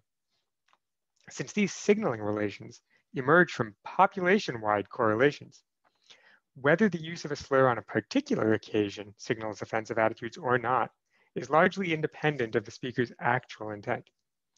Consequently, we should expect that the use of a slur will license offense, even when the speaker does not intend derogation.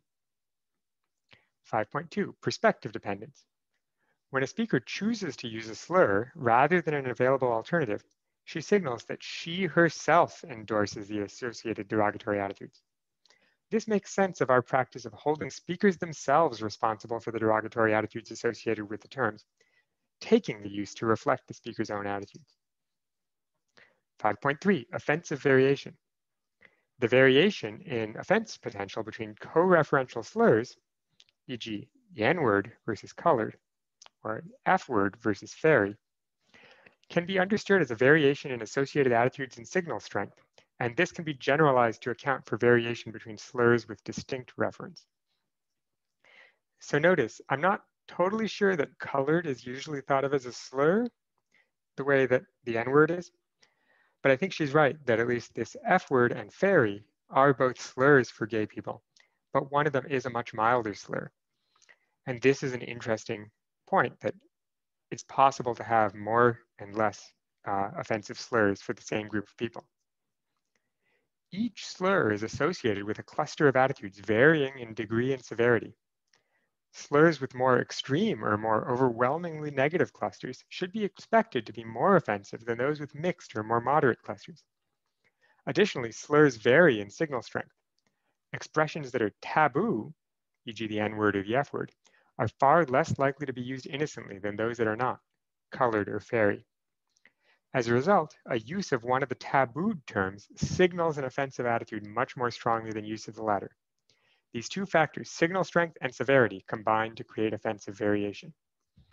That is, if we think, what are the attitudes associated with the word fairy versus the stronger F word? The attitudes towards gay people that are associated with those seem to be different. And also, given that fairy is not quite as taboo, and in fact is a perfectly ordinary word to use for other purposes, uh, the fact that someone has chosen to use the word fairy is not as strong a signal that they endorse even those attitudes. So it's both milder attitudes and a weaker signal of endorsement. 5.4, embedding failure. Indirect reports. The explanation this account gives for the offensiveness of indirect reports and mere mentions is slightly more involved than the story for direct uses. Indirect reports leave the hearer unable to distinguish whether the current speaker is merely reporting another speaker's use or chose the term himself. In sentence 3a, Bob said he'll fire all the C words. As it occurs in that sentence, the C word is nearly clear, neither clearly mentioned nor clearly used. That is, we don't know whether we are quoting, someone is quoting Bob, or if someone is paraphrasing Bob and still choosing to use that word. To convince yourself of this, note the difference in offensiveness between 3A and 3B, in which the slur is clearly mentioned rather than used. Bob said he'll fire all the women, calling them C words. Confronted with the ambiguous 3A, Here's attempt to discern from context whether the slur occurs as a use or a mention. Aware that 3b is available to speakers who wish to make it clear that the term occurs as a mention, hearers are justified, absent stronger contextual clues, in concluding that this speaker is using the term and therefore signaling an offensive preference. Consequently, a hearer's expected value for W, the warranted offense, is high, so offense is rational. That is, you know 3A is confusing. You know that 3B is not confusing. You know whose attitudes are being signaled in 3B. If you chose to use 3 anyway, 3A anyway, then that means you're signaling that you didn't necessarily care to explicitly distinguish yourself from Bob's attitudes. And so a hearer is reasonable in thinking anyone who wanted to explicitly distinguish themselves could have said 3B. So the fact that they said 3A suggests that they didn't care about doing so. And if they didn't care about doing so, then they probably share the attitude. Maybe it's not as strong an association as just Bob saying it, but, uh, but 3A strongly generates this implication. And I think that sounds about right, that 3A sounds not quite as strong as hearing Bob say it, but it's definitely stronger than 3B. 5.4.2, offensive mentions. In some cases, a speaker may rightly be censured for directly mentioning the slur by uttering 3b, instead of applying an easily available circumlocution like 3c. Bob said he'll fire all the women, calling them the C word. There are a few word features of interest in these sorts of cases. First, the offense generated by a mention is invariably less severe than that generated by a use of the same slurring term. Second, Offensive mentions typically occur only in sensitive contexts, public venues, in the presence of children, or contexts where it is not clear whether the speaker intends to derogate. The range of sensitive contexts varies between slurs and is largest for those with dedicated circumlocutions, such as the N-word. Explaining this on the contrast of choice account is fairly straightforward. In mentioning a slurred term, a speaker chooses between two or more expressions to refer to the slur alpha. The quotation name, that is putting the name alpha in quotes, or a description, merely saying a slur or epithet, or in some cases, a dedicated circumlocution, the alpha word. So that is, we can imagine the various sentences. Bob said he'll fire all the cunts. Bob said he'll fire all the women, calling them a slur. Or Bob said he'll fire all the women, calling them cunts. Or Bob said he'll fire all the women, calling them the C word. The attitudes associated with using alpha are invariably worse than those associated with mentioning. While uses are associated with hostile, aggressive, and threatening behavior, contextually inappropriate mentions appear to be associated with tamer, though not benign, attitudes, ranging from simple insensitivity to perverse pleasure at saying discomforting words, and disregard for the risk of encouraging derogating uses of the slur. The speaker's contrastive choice to use the quotation name rather than an available alternative in a sensitive context signals that the speaker holds some or all of these less severe but still offensive set of attitudes and so warrants offense. So that is if you know there's another way to mention the word and you choose to use the word anyway, even if you're just quoting someone else, you're showing you don't care about these other aspects, which is definitely not as bad as actually sharing the underlying attitudes, but it's still saying something about what you think.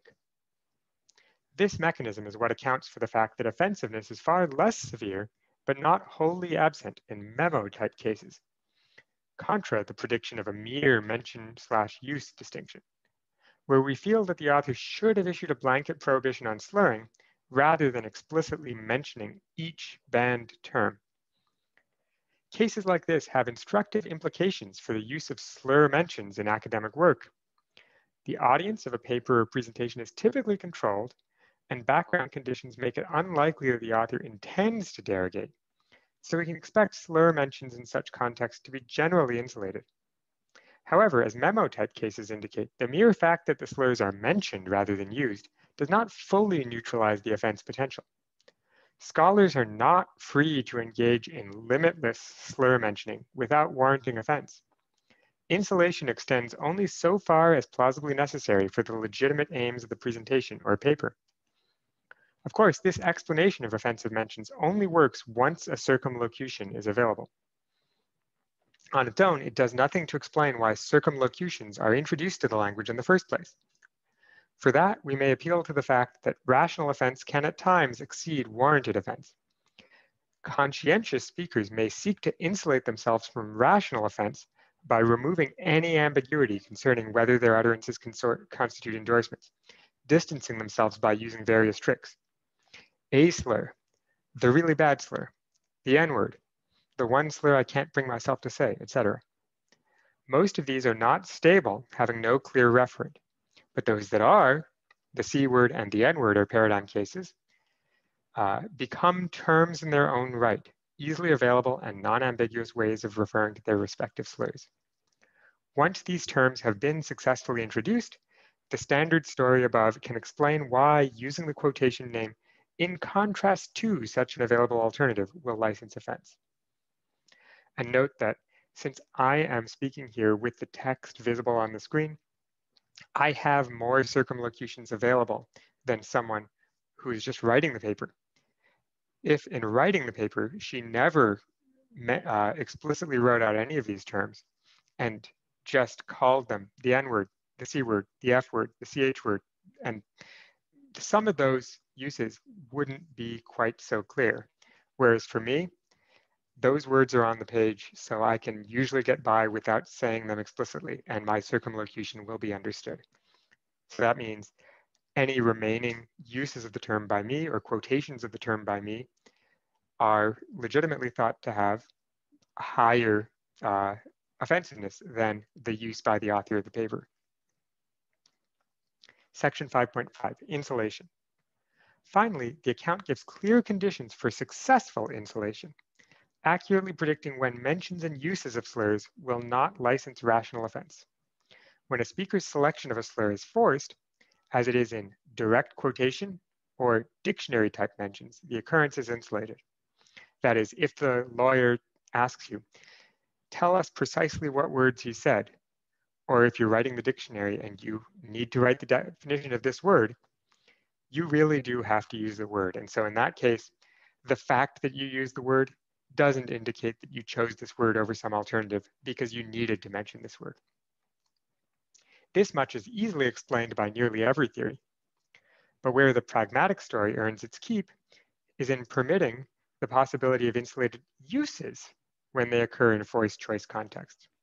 The interesting question then is whether there are any such uses to be explained. That is, it's not just cases where someone's quoting it or talking about the word. There are some cases in which you can actually use the word uh, that might be less offensive. And this is what she's going to talk about in section six, talking about its uses in film. Extensions to actual offense patterns.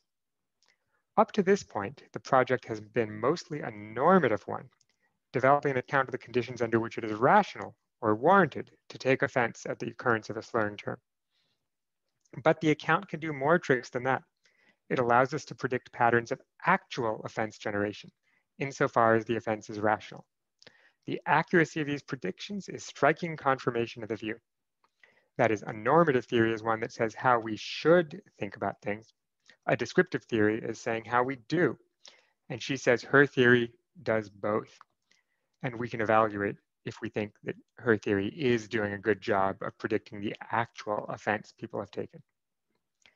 6.1, art uses, an exceptional case.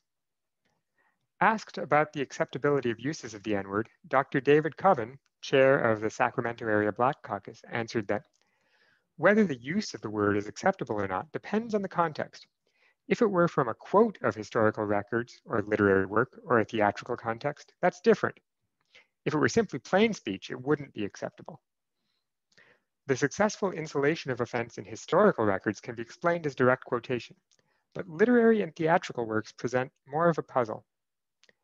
Touré has an excellent discussion of the permissible uses of slurs in performance, which gestures at both why an artist may genuinely need to use the slur and how a performance can justify such a use.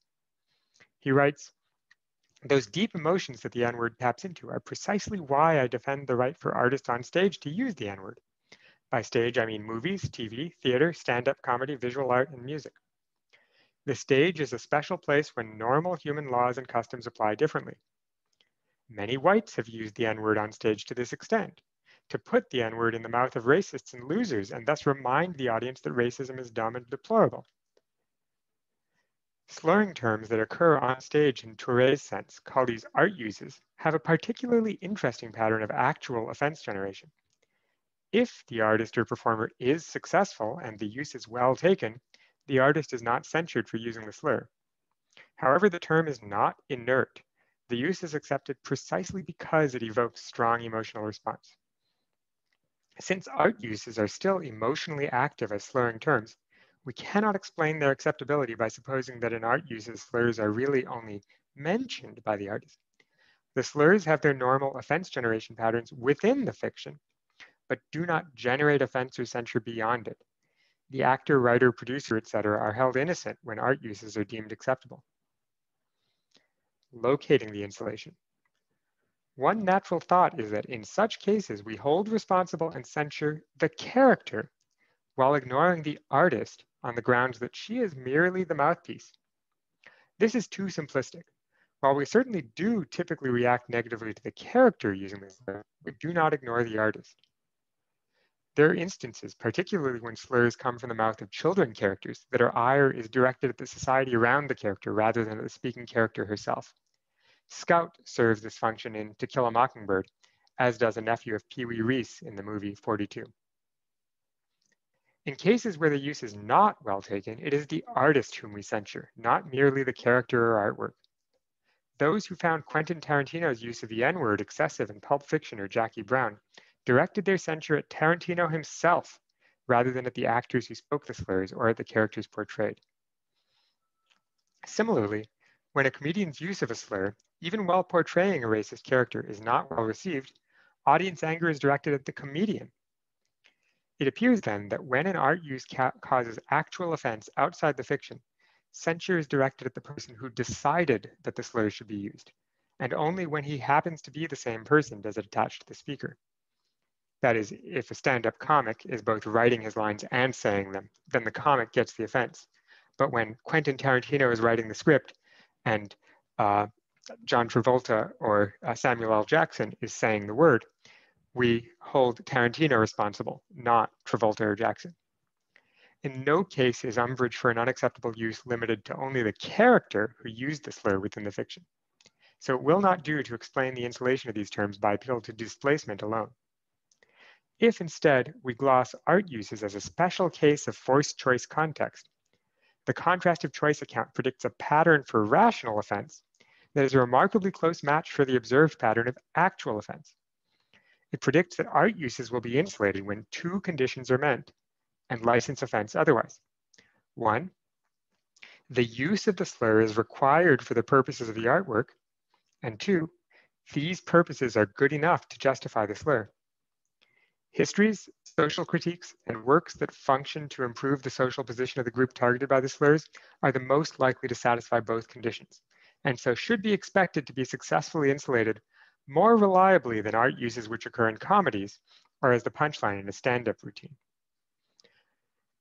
Imagine a sitcom using uh, slur words and think about how much, what would need to be the case for you to feel that the sitcom was appropriately doing it. Importantly, the forced choice justification only protects the speaker from offense if we judge that the slur really is required and justified by the purpose of the performance. If the use is excessive or not adequately motivated, then the performer's decision is less properly characterized as a forced choice, at which point the contrastive preference to use a slurring term warrants offense once more. 6.1.2, conditions of acceptability. A cursory glance at the reception of recent movies featuring slurring terms confirms these predictions. Controversy over the acceptability of an art use tends to center on whether the artistic purpose was adequately justifying, rather than on whether it can ever be acceptable to token the offensive terms. Uh, footnote 44 says, there have, of course, been some attempts to ban the N-word from the music industry, contending that the term should simply never be used. The following poem by performance artist Dean Atta is a prime example of the sort of appeal that is made. Rappers, when you use the N-word, remember that's one of the last words Stephen Lawrence heard. So don't tell me it's a reclaimed word. I am nobody's N-word. So please let my ancestors rest in peace. It is important to note, one, the authors of the movement make no negative comments about the uses in critical works, and in this case, the appeal even features an art use of the term. And two, the justification offered is that it is impossible to reclaim the word and hence unacceptable to embrace and use the word to refer. This discussion is then more properly about direct primary uses rather than the acceptability of indirect art uses. So she's saying, in most cases, the discussion isn't about completely banning the word, it's about how acceptable was this use of the word. Two films are of particular interest in this respect. Django Unchained, and 42. Both follow the struggles of an ultimately victorious African-American protagonist supported and guided by an older white male. Quentin Tarantino's Django adopts the comic tone of a spaghetti western. That's a genre of American westerns filmed by Italian directors and uh, cinematographers, including things like The Good, the Bad, and the Ugly. While Brian Helgeland's 42 is a tribute to Jackie Robinson and verges on hagiography. Jackie Robinson, of course, being the first Black player to play in the Major League Baseball, and hagiography being a historical genre, meaning the lives of saints, and many traditional medieval lives of saints just completely sanitized the story of the saint's life and made it out like they were good in every way and everyone who was bad to them and bad in every way. I don't think that 42 actually does that, but she's saying she, it verges on that. Tarantino's 110 uses of the N-word are not driven by an attempt to accurately depict the speech patterns of the era. They function solely to shape the emotional impact of the script. Footnote 45. The film's indifference concerning accurately representing the speech of the period is evidenced by the use of fuck and its cognates in the film. Though the film is set in 1858, the term did not acquire its modern status as an all-purpose expletive until at least 1901. So she's pointing out Quentin Tarantino wasn't using that word because he wants to accurately represent 1858 speech. He's just doing it because that word is emotional. Many felt that this, coupled with the sheer quantity of slurs and the jocular tone of the movie, signaled a flippancy concerning the slur that is disrespectful and not outweighed by the movie's violent depiction and narrative condemnation of slavery. We may not fully agree with that, but it's something to note in contrast to what she says is going on with 42.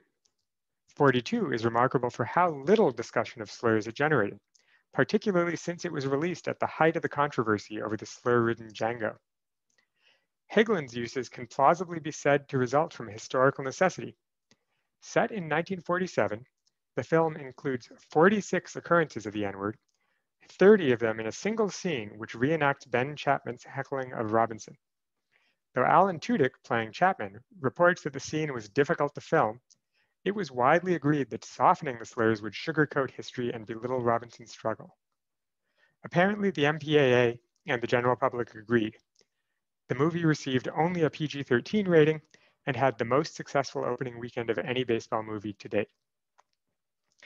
The difference in acceptability of the uses between the two films tracks the two conditions predicted by the contrast of choice account the use of the slurs is crucial to 42's celebration of Jackie Robinson's historic triumph over racism, whereas it is unclear both whether the slurs were necessary to achieve the goals of Django Unchained and whether those goals were sufficient to justify the slurs. Of course, analysis of the reception of these films is complicated by the many respects in which the movies differ. Tone, historical approach, narrative style, and Tarantino's personal history with the N-word. Spike Lee's criticisms of Tarantino's work allude to this, as does Louis C.K.'s podcast discussion of Tarantino wanting an N-word pass. And uh, I think this paper was written before Louis C.K. came under his own criticism. 6.2, accounting for variation in offendedness. Offendedness. By tying the rationality of offense to a hearer's evidence, the contrast of choice account yields an elegant explanation of faultless interpersonal threshold variance for offense at the use of slurs. It predicts that, if rational, a hearer's level of offense should vary with her confidence that the use of a term signals the speaker's endorsement of offensive attitudes. If a given hearer has comparatively less confidence than her peers in the signaling relation, her tolerance for slurs should be higher than is typical among her peers since she does not perceive them as warranting offense as reliably as do her peers. Her expected value for W is low as compared to her peer group. That is, if you have different people and they believe different things about how strongly correlated the slurs are with offensive attitudes, the people who think they're more correlated should take more offense, and the people who think they're less correlated should take less offense. And regardless of how correlated you think they are, I think we can all agree that does seem to be a good explanation of who is taking how much offense at which uses. Reclamation, amelioration, and transference. This model also provides a nice explanation of cases when the level of offense that is rational to take at an occurrence of a given expression changes over time. There are three ways that this occurs, by reclamation, by disuse, and by transference of offensiveness from one term to another. 6.3.1, reclamation. Successful reclamation works by undermining the signal strength of the slurring term. Initially, a group of speakers who reject the derogation of the target use the slur defiantly. As this group grows, the likelihood that the user of the term holds derogatory attitudes falls, causing the information in the signal to degrade. Reclamation is successful when the signal has been so diluted as to carry no information the term is at least as likely to be used positively as it is to be used by those who hold objectionable attitudes. At that point, it is possible to exhibit a contrastive preference for the term without by default licensing rational offense. That's not to say that a reclaimed slurring term can be used by just anyone or in just any context without warranting offense. Recall that earlier we said that speaker intent is relevant when the signal strength is weak. In the mouths of homophobes, use of the reclaimed term queer can still warrant deep offense. This is because the intent to use the word to endorse homophobic attitudes is contextually clear, and a use of a slur warrants offense precisely when it constitutes an endorsement of such derogatory attitudes. 6.3.2, amelioration and transference. The contrast of choice mechanism also yields a natural account of amelioration, or the diminished offensiveness of archaic slurs even after we are informed that Boche is a derogatory term, expressing contempt for Germans and implying that they are all cruel, it is hard to feel the offensiveness of the term. Footnote 49, a number of authors in the slurs literature, Camp, Jeshion, and Hedger, have cited this phenomenon as the reason why, despite their toxicity, discussions of offensiveness must use active slurs as examples rather than the tamer archaic slurs. I think several early papers in this literature talked about Boche as the example because the authors wanted to avoid using active slurs. But as a result, they happened to be holding the terms at more of a distance and not quite analyzing the full force of the terms. This is difficult to explain if the offense is semantically encoded in the term, since it is not clear that the semantic meaning of the term has changed at all. Although you might think some accounts suggest that the semantic meaning can change if the use patterns change. What has changed, however, is the frequency of use. Boche hasn't been reclaimed, it has simply fallen into disuse. If the offensiveness of a slur arises from a signaling relation between the slur and derogatory attitudes, then we should expect that if the term falls into disuse, the signal will degrade, and with it, the offensiveness of the term will fade. And this is because signal content is reinforced through use. As use frequency decreases, the signal is reinforced less often, with the result that over time, the signal strength falls below the minimum threshold for retention and is forgotten. Alexander, Skyrms, and Zabell offer a basic model of this phenomenon. Alexander discusses a more nuanced account that incorporates past discounting to more adequately model natural languages by allowing for semantic drift. Either model predicts that signal content will fade as the term falls into disuse. And note that Alexander, Skyrms, and Zabell are working just as much in biological signals as they are in linguistic signals. So they're thinking cases where monkeys use certain sounds to signal different types of predators, or peacocks use their tails to signal health. In those cases, of course, the peacock tail is always present in the most healthy birds, and so it becomes a strong signal, whereas a signal that is used much less often is going to fade out of its evolutionary significance. Transference is a closely related case, occurring when the offensiveness of one slur transfers over to a co-referential slur, leaving the first expression muted or toothless. We can understand transference as a two-part phenomenon, fading of the original term and an attendant shift in social perception that the associations of the first term actually belong to the second. This appears to be with what occurred with the terms CH word and coolie in the United States. As coolie faded, the CH word gained prominence as the preferred slur against Chinese individuals. Speakers subsequently assumed that the CH word had always been the dominant slur and are now surprised to learn that it was coolie rather than the CH word that featured prominently in the historic oppression of Chinese nationals in the Americas. The coolie trade in the mid 1800s referred to the practice of shipping, often abducting as I might say, Shanghaiing Chinese nationals to the Americas and indenturing them to years of hard labor. The term also featured prominently in racist US political rhetoric surrounding the implementation of the 1882 Chinese Exclusion Act, outlawing the immigration of Chinese laborers into the United States. Despite all of this, the fact that coolie was the word that was used in those times, it is the CH word rather than coolie that carries these associations in the present. Conclusion. Invoking the signaling relations involved in contrast of choice fully accounts for all the major features of offense generation and gets the right results in some less well-known cases. Utilizing the account does not require postulating any novel pragmatic mechanisms since signaling relations are well accepted and prolific, and it allows the explanation of the offensiveness of slurs to parallel our best accounts of the offensiveness of impolite and rude behavior.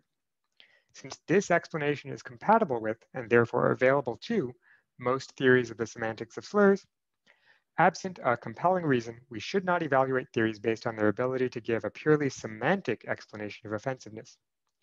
Instead, perhaps we should focus on accounting for or explaining away other central characteristics, including how the terms came to be associated with derogation in the first place, their conditions of application, relation to their neutral counterparts, and the connection between slurs and stereotypes of the target group. So she's saying a semantic account like that given by Chris Hom or others should deal with these things, but the offensiveness can come from the pragmatics. And maybe once you've got the semantic account with these things, that can explain how the signaling association gets developed, which then leads to the pragmatics. But we don't necessarily have to have Hom's account of the semantics in order for Bolinger's account of the pragmatics to take effect.